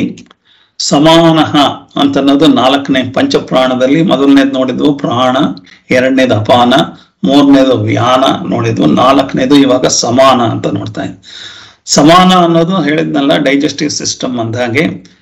ನಾವು ಬಾಯಲ್ಲಿ ಹಾಕೊಂಡಿರೋ ಆಹಾರ ನಾಲ್ಗೆನಲ್ಲಿ ಅಗದ ಮೇಲೆ, ಒಳಗಡೆ ನುಂಗದ ಮೇಲೆ, ಒಳಗಡೆಗೆ ಹೋಗ್ಬೇಕು ಅಂತ ಯಾಕೆ ಆಚೆಗೆ ಯಾಕೆ ಬರಬಾರ್ದು ಅಂತಂದ್ರೆ, ಒಳಗಡೆಗೆ ನೂಕ್ಬೇಕದು. ನೂಕಿ ಮೇಲಿಂದ ಕೆಳಗೆ ಲಾಸ್ಟ್ಗೆ ಆಚೆಗೂ ನೂಕ್ಬೇಕು. ಆ ನೂಕುವಂತ ಕೆಲಸ ಯಾರು ಮಾಡ್ತಾ ಇದ್ದಾರೆ? ಅಂದ್ರೆ ಈ ಸಮಾನ ಅನ್ನೋ ಸಿಸ್ಟಮ್ ಇರೋದ್ರಿಂದ ಈ digestive system up to excretory system ತನಕನು ಇದು ಕೆಲಸ ಮಾಡ್ಕೊಂಡು ಎರಡು ಒಂದಕ್ಕೊಂದನ್ನ ಮಾಡಿಕೊಂಡು ಅಪಾನ ಸಿಸ್ಟಮ್ ಸಮಾನ ಸಿಸ್ಟಮ್ ಎರಡು ಸರಿಯಾಗಿ ಕೆಲಸ ಮಾಡಿದ್ರೆ ನಮ್ ಡೈಜೆಸ್ಟಿವ್ ಸಿಸ್ಟಮ್ ಸರಿಯಾಗಿ ಕೆಲಸ ಮಾಡುತ್ತೆ. ಈ ಸಮಾನ ಸಿಸ್ಟಮ್ ಏನ್ ಮಾಡ್ತಾ ಇದೆ? ಡೈಜೆಸ್ಟಿವ್ ಸಿಸ್ಟಮ್ನ ಮಾಡ್ತಾ ಇದೆ. ಅಪಾನ ಸಿಸ್ಟಮ್ ಎಕ್ಸ್ಕ್ರೀಟರಿ ಸಿಸ್ಟಮ್ ಸೊ ಜಠರದಿಂದ ನೆಕ್ಸ್ಟ್ ಡಿಯೋಡಿನಮ್ ಇಂದ ಮುಂದಕ್ಕಿರೋದೆಲ್ಲ ಎಕ್ಸ್ಕ್ರೀಟರಿ ಸಿಸ್ಟಮ್ ಸೊ ನಾಲ್ಗೆ ಬಾಯಿಯಿಂದ, ತುಟಿಯಿಂದ ಹಿಡಿದು ಹೊಟ್ಟೆ ಒಳಗಡೆ ಜಠರದ ತನಕ ಇರೋದೆಲ್ಲ ಅದು ಡೈಜೆಸ್ಟಿವ್ ಸಿಸ್ಟಮ್ ಸೊ ಆ ಸಿಸ್ಟಮ್ ಈ ಸಿಸ್ಟಮ್ ಎರಡು ಫ್ರೆಂಡ್ಲಿಯಾಗಿ ಕೆಲಸ ಮಾಡ್ತಾ ಇದ್ರೆ ನಮ್ಮ ಆರೋಗ್ಯ, ನಮ್ದು ಈ ವಿಟಮಿನ್ ಅಬ್ಸಾರ್ಪ್ಷನ್ ಎಲ್ಲದೂ ಆಗುತ್ತೆ. ಯಾವ್ದಾದ್ರು ಹೆಚ್ಚು ಕಡಿಮೆ ಆದ್ರೆ ಆಗಲ್ಲ. ಇನ್ನೊಂದು ಫೈನಲಿ ಐದನೇದು ಏನಪ್ಪಾ ಅಂದ್ರೆ ಉದಾನ ಅಂತ ಹೇಳ್ತಾರೆ. ಉದಾನ ಅನ್ನೋದು ಇದೊಂಥರ ಎಮರ್ಜೆನ್ಸಿ ಎಕ್ಸಿಟ್ ತರ. ಈ ಸಿನಿಮಾ ಥಿಯೇಟರ್ಗಳಲ್ಲಿ ಎಲ್ಲ ಕಡೆ ಎಮರ್ಜೆನ್ಸಿ ಎಕ್ಸಿಟ್ ಅಂತ ಬರ್ತಿರ್ತಾರೆ ದೊಡ್ಡ ದೊಡ್ಡ ಬಿಲ್ಡಿಂಗ್ ಅಲ್ಲಿ ಅಪಾರ್ಟ್ಮೆಂಟ್ ಅಲ್ಲಿ ಎಮರ್ಜೆನ್ಸಿ ಎಕ್ಸಿಟ್ ಅಂತ ಬರ್ತಿರ್ತಾರೆ ಸೊ, ಆ ತರ ಎಮರ್ಜೆನ್ಸಿ ಎಕ್ಸಿಟ್ ಇದು ಕೆಲಸ ಮಾಡುತ್ತೆ. ಈ ಫಾರ್ ಎಕ್ಸಾಂಪಲ್ ನಮ್ಗೆ ಈ ವೈಕುಂಠ ಏಕಾದಶಿ ಹತ್ರ ಬರ್ತಾ ಇದೆ ಅಂತಂದ್ರೆ, ವೈಕುಂಠದ ಬಾಗಿಲು ದಿವಸ ತೆಗ್ದಿರುತ್ತಾ? ಇಲ್ಲ. ವೈಕುಂಠ ಏಕಾದಶಿ ದಿವಸ ಮಾತ್ರ ತೆಗ್ದಿರುತ್ತೆ. ಸ್ವರ್ಗದ ಬಾಗಿಲು ಅಂತ ಪ್ರತೀತಿ ಕತೆ. ಆದ್ರೆ ನಾನು ಅದಕ್ಕೆ ಇದಕ್ಕೆ ಕಮ್ಮಿ ಮಾಡ್ತಾ ಇಲ್ಲ. ಹಾಗೆ ಯಾವಾಗ್ಲೂ ಒಂದ್ಸಲ ಓಪನ್ ಆಗುವಂಥದ್ದು ವಾಲ್ವ್ಗಳು ಇದೆ ನಮ್ಮ ದೇಹದಲ್ಲಿ. ಆ ತರ ವಾಲ್ವ್ಗಳು ಯಾವ್ದು ಅಂತಂದ್ರೆ ಅದನ್ನ ಯಾವ್ದು ಮೇಂಟೈನ್ ಮಾಡ್ತಾ ಇದೆ ಅಂದ್ರೆ ಉದಾನ ಸಿಸ್ಟಮ್ ಅಂತ. ಆ ಉದಾನ ಅನ್ನೋದು ಈ ತರ ಎಮರ್ಜೆನ್ಸಿ ಸಿಸ್ಟಮ್ನ ಮೇಂಟೈನ್ ಮಾಡ್ತಾ ಇದೆ. ಹೇಗಪ್ಪ ಅಂದ್ರೆ ಕಣ್ಣಿಗೆ ಏನಾರ ಕಸ ಬಿತ್ತು ಅಂತಿದ್ದಾಗೇನೆ ಕಣ್ಣಲ್ಲೆಲ್ಲ ನೀರ್ ಬಂದು, ಕಣ್ಣೊಳಗಡೆ ಇರೋ ಕಸ ಎಲ್ಲ ಆಚೆಗೆ ಹೋಗೋ ತನಕ ಕಣ್ಣು ಉಜ್ಜಿಕೊಳ್ಳೋದ್ರಿಂದ ಹಿಡಿದು, ಕಣ್ಣು ರಪ್ಪೆಗಳೆಲ್ಲ ಪಡ್ಕೊಳ್ಳೋದ್ರಿಂದ ಹಿಡಿದು, ಕಣ್ಣೊಳಗಡೆ ಇರೋ ಕಸ ಆಚೆಗೆ ಹೋಗೋ ತನಕನೂ ಕೆಲಸ ಮಾಡೋದು ಆ ಎಮರ್ಜೆನ್ಸಿ ಸಿಸ್ಟಮ್. ಆ ಎಮರ್ಜೆನ್ಸಿ ಸಿಸ್ಟಮ್ ಕೆಲಸ ಮಾಡಲಿಲ್ಲ ಅಂದ್ರೆ ಕಣ್ಣೊಳಗಿರೋ ಕಸ ಕಣ್ಣೊಳಗೆ ಇರುತ್ತೆ. ಕಣ್ಣಿಗೆ ಡ್ಯಾಮೇಜ್ ಆಗುತ್ತೆ. ಸೊ ಹಾಗೆ ಅದನ್ನ ಮೇಂಟೈನ್ ಮಾಡ್ತಾ ಇರೋದು ಮೂಗೊಳಗಡೆ ಏನೋ ಒಂದು ಹೋಯ್ತು ಅಂತಂದ್ರೆ ನಾವು ಸೀನ್ ಬಂದು ಆ ಕಡೆ ಒಂದು ಅಗಳು ಏನಾದ್ರು ಹೋಯ್ತು ಅಥವಾ ಏನಾದ್ರು ಒಳಗಡೆ ಹೋಯ್ತು ಅಂದ್ರೆ ಸೀನ್ ಬಂದು ಆಚೆಗೆ ಹೋಗೋ ತನಕನೂ ಅದು ಕೆಲಸ ಮಾಡ್ತಾ ಇದೆ. Exist exhaust system emergency system so ಅಕಸ್ಮಾತ್ ಏನೋ ಪಾಯ್ಸನ್ ತಿಂದಿದ್ದೀನಿ ಅಂತಂದ್ರೆ ಆ ಪಾಯ್ಸನ್ ವಾಮಿಟ್ ಆಗಬೇಕಾದ್ರೆ ಒಳಗಡೆ ಹೋಗೋದಕ್ಕೆ ವ್ಯಾನ, ಉದಾನ, ಅಪಾನ, ಸಮಾನ ಇವೆಲ್ಲ ಕೆಲಸ ಮಾಡಿದ್ರು ಆಚೆಗೆ ಹೋಗ್ಬೇಕಾದ್ರೆ ಉದಾನ ಆಗ್ಬೇಕು. ವಾಮಿಟ್ ಆಗ್ಬೇಕಾದ್ರೆ ಅದಕ್ಕೆ ಬೇರೆ ಶಕ್ತಿ ಬೇಕು. ಆ ಶಕ್ತಿ ವಾಮಿಟ್ ಆಗಿ ಆಚೆಗೆ ಹೋಗೋ ತನಕನೂ ಆ ಶಕ್ತಿ ಕೆಲಸ ಅದು ಎಮರ್ಜೆನ್ಸಿ ಡೈಲಿ ವಾಮಿಟ್ ಆಗುತ್ತಾ ಇಲ್ಲ. ನನಗೆ ಒಳಗಡೆ ಅದಕ್ಕೆ ಏನಾದ್ರು ಗೊತ್ತಾಗಿ ಪಾಯ್ಸನ್ ಇದೆ ಅಂತ ಯಾವ್ದಾರು ಹೇಳಿದ್ಮೇಲೆ ಈ ಕೆಲಸ ಓಪನ್ ಆಗ್ಬೇಕು. ಎಮರ್ಜೆನ್ಸಿ ಡೋರ್ ಓಪನ್ ಆಗು ಅಂತಂದ್ರೆ ಓಪನ್ ಆಗುತ್ತೆ. ಹಾಗೆ ಅಪಾನ ಶಕ್ತಿಗೆ ಇಲ್ಲ. ಡೈಜೆಸ್ಟಿವ್ ಲೂಸ್ ಮೋಷನ್ ಮಾಡಕ್ ಅದಕ್ಕೆ ಕೆಪಾಸಿಟಿ ಇಲ್ಲ. ಉದಾನಕ್ಕೆ ಕೆಪಾಸಿಟಿ ಇದೆ. ಅಪಾನ ಅದ್ರ ಪಾಡ್ಗದು ಡೈಲಿ ಕೆಲಸ ಮಾಡ್ಕೊಂಡು ಹೋಗ್ತಾ ಇರುತ್ತೆ. ಈಗ emergency V W S S P ನಲ್ಲಿ ಅದ್ರ ಅದು ಡ್ರೈನೇಜ್ ಸಿಸ್ಟಮ್ ವರ್ಕ್ ಆಗ್ತಾ ಇರುತ್ತೆ ಎಲ್ಲೋ ಬ್ಲಾಕ್ ಆಯ್ತು ಅಂದ್ರೆ ಎಮರ್ಜೆನ್ಸಿ ಸಿಸ್ಟಮ್ ದೊಡ್ಡದು ಮಿಷನ್ ಬರುತ್ತೆ. ಒಳಗಡೆಗೆಲ್ಲ ರಂಗ್ ಇದನ್ನ ಹಾಕ್ತಾರೆ ವ್ಯಾಕ್ಯೂಮ್ ಹಾಕ್ತಾರೆ ಏರ್ ಹಾಕ್ತಾರೆ, ಎಲ್ಲ ಮಾಡಿ ಆಮೇಲೆ ಅದನ್ನ ಕ್ಲಿಯರ್ ಮಾಡ್ತಾರೆ. ಆ ತರ ಎಮರ್ಜೆನ್ಸಿ ಸಿಸ್ಟಮ್ ಉದಾನ ಸಿಸ್ಟಮ್ ಈ ಉದಾನ ಸಿಸ್ಟಮ್ ಸರಿಯಾಗಿ ಕೆಲಸ ಮಾಡದಲ್ಲೇ ಇದ್ರೆ ನಮ್ಮಲ್ಲಿ ದೇಹದಲ್ಲಿ ಆಲಸ್ಯ, ದೇಹದಲ್ಲಿ ಜಡ್ಡು, ಆರೋಗ್ಯ ಇದೆಲ್ಲ ಅದು ಆಗೋ ಅಂಥದ್ದು. ಸೊ ಈ ತರ ಇರುತ್ತೆ. ಸೊ ಉದಾಹರಣ ಸಿಸ್ಟಮ್ ಆಲ್ಸೋ ಬಹಳ ಬಹಳ ಇಂಪಾರ್ಟೆಂಟ್ ಆಗಿ ಕೆಲಸ ಮಾಡಬೇಕು. ಅದೃಷ್ಟದೇನೆ ಕೆಲಸ ಮಾಡೋದಿಲ್ಲ ಇದು. ಇದಕ್ಕೆ ಸಿಗ್ನಲ್ ಬರುತ್ತೆ, ಬರ್ತಿದ್ದ ಹಾಗೇನೆ ಅದು ಆಕ್ಟಿವೇಟ್ ಆಗುತ್ತೆ. ಈಗ ಏನಂದ್ರೆ ಮನೆಗೆ ಬೆಂಕಿ ಬಿತ್ತು ಅಂತ ಅಂದ್ಬಿಟ್ಟು ಯಾರೋ ಫೈರ್ ಇಂಜಿನ್ ಅವ್ರು ಬಂದು ನಿಮ್ಮ ಮನೆಗೆ ಬೆಂಕಿ ಬಿತ್ತಾ, ಬಂತ ಅಂತ ಕೇಳಲ್ಲ. ಬೆಂಕಿ ಬೀಳ್ತಿದ್ದ ಹಾಗೆ ಅವರಿಗೆ ಒಂದು ಫೈರ್ಗೆ ಒಂದು ಇಂಜಿನ್ ಫೈರ್ ಇಂಜಿನ್ ಆಫೀಸ್ಗೆ ಒಂದು ಫೋನ್ ಅಲ್ಲಿ ಯಾರೋ ಫೋನ್ ಮಾಡ್ತಾರೆ. ಆಮೇಲೆ ಫೈರ್ ಇಂಜಿನ್ಗಳು ಬಂದು ಕೆಲಸ ಮಾಡುತ್ತೆ. ಎಮರ್ಜೆನ್ಸಿನಲ್ಲಿ ಬರೋದಿಲ್ಲ ಎಮರ್ಜೆನ್ಸಿ ಆಗಿ ಫೋನ್ ಮಾಡಿದ ಮೇಲೆ ಬರುವಂಥದ್ದು. ಹಾಗೆ ಈ ಉದಾನ ಸಿಸ್ಟಮ್ ಅದಕ್ಕೆ ಕಮ್ಯುನಿಕೇಶನ್ ಹೋಗ್ತಿದ್ದಾಗೆ ಅದು ಬಹಳ ಅಲರ್ಟ್ ಆಗುತ್ತೆ. ಕಾಲಿಗೆ ಮುಳ್ಚುಚ್ಕೊಳ್ತು ಅಂತಿದ್ದ ಹಾಗೇನೆ ಅಷ್ಟು ಫಾಸ್ಟ್ ಆಗಿ ಸಿಸ್ಟಮ್ ಹೋಗಿ ಉದಾನ ಸಿಸ್ಟಮ್ ಅಲ್ಲಿ ಅಂದ್ರೆ ಆ ಒಂದು ಇನ್ನೊಂದು ಈ ನಾಡಿ ಶಾಸ್ತ್ರಗಳಲ್ಲಿ ಆ ಸಿಸ್ಟಮ್ ಹೋಗಿ ಕೈನಲ್ಲಿ ಆ ಮುಳ್ಳನ್ನ ಕಿತ್ತು ಕಾಲಿಂದ ಆಚೆಗೆ ಬಿಸಾಕದ್ ನಮ್ಗೆ ಗೊತ್ತೇ ಇಲ್ಲ. ನಾವು ಯೋಚನೆ ಮಾಡಕ್ ಮುಂಚೆನೆ ಕಿತ್ತು ಬಿಸಾಕತ್ತೆ. ಈ ಸಿಸ್ಟಮ್ ಉದಾನ ಸಿಸ್ಟಮ್ ಅಂತ. ಈ ಉದಾನ ಸಿಸ್ಟಮ್ ಕಣ್ಣಿಂದ ಹಿಡಿದು, ಕಿವಿಯಿಂದ ಹಿಡಿದು ಏನೇ ಆದ್ರೂ ಎಲ್ಲಾ ಕಡೆ ಎಮರ್ಜೆನ್ಸಿ ಏನಿದೆ ಅದನ್ನೆಲ್ಲ ಅದನ್ನು ಅಟೆಂಡ್ ಮಾಡುವಂತ ಸಿಸ್ಟಮ್, ಉದಾನ ಸಿಸ್ಟಮ್. ಈ ಪಂಚಪ್ರಾಣಗಳು ಸರಿಯಾಗಿ ಕೆಲಸ ಮಾಡಲಿಲ್ಲ ಅಂದ್ರೆ ನಮ್ಮ ಆರೋಗ್ಯ ಏನಿಲ್ಲ. ಸೊ ಈ ಫಂಕ್ಷನ್ ನಮಗೆ ಸರಿಯಾಗಿ ಕೆಲಸ ಮಾಡಬೇಕು. ಈ ಟೋಟಲಿ ನಮ್ದು ಈ ಉದಾಹರಣ ಸಿಸ್ಟಮ್ ಇವಾಗ ಅಲ್ದಲೇನೆ ಸಾಯೋ ಟೈಮಲ್ಲಿ ಕೂಡ ಕೆಲಸ ಮಾಡುತ್ತೆ ಅಂದ್ರೆ ಎಲ್ಲದು ಒಳಗಡೆ ಇರೋದನ್ನೆಲ್ಲ ಆಚೆ ಕಡೆ ಬಿಸಾಕೋ ತನಕನು ಉದಾಹರಣ ಸಿಸ್ಟಮ್ ಕೆಲಸ ಮಾಡುತ್ತೆ. ಪ್ರಾಣ ಹೋದ್ಮೇಲೂ ಕೂಡ ಕೆಲಸ ಮಾಡುತ್ತೆ ಉದಾನ ಸಿಸ್ಟಮ್. ಲಾಸ್ಟ್ ಅಲ್ಲಿ ಕೆಲಸ ಮಾಡಿ ಆಮೇಲೆ ಅದೇನೆ ಕೊನೆಗೆ ಹೋಗುವಂತದ್ದು ಇದು. ಸೊ ಇದಿಷ್ಟುವೇ ಪಂಚಪ್ರಾಣಗಳು ಅಂತ ಆಯ್ತು. ಪಂಚಪ್ರಾಣ ಯಾವ್ಯಾವುದು?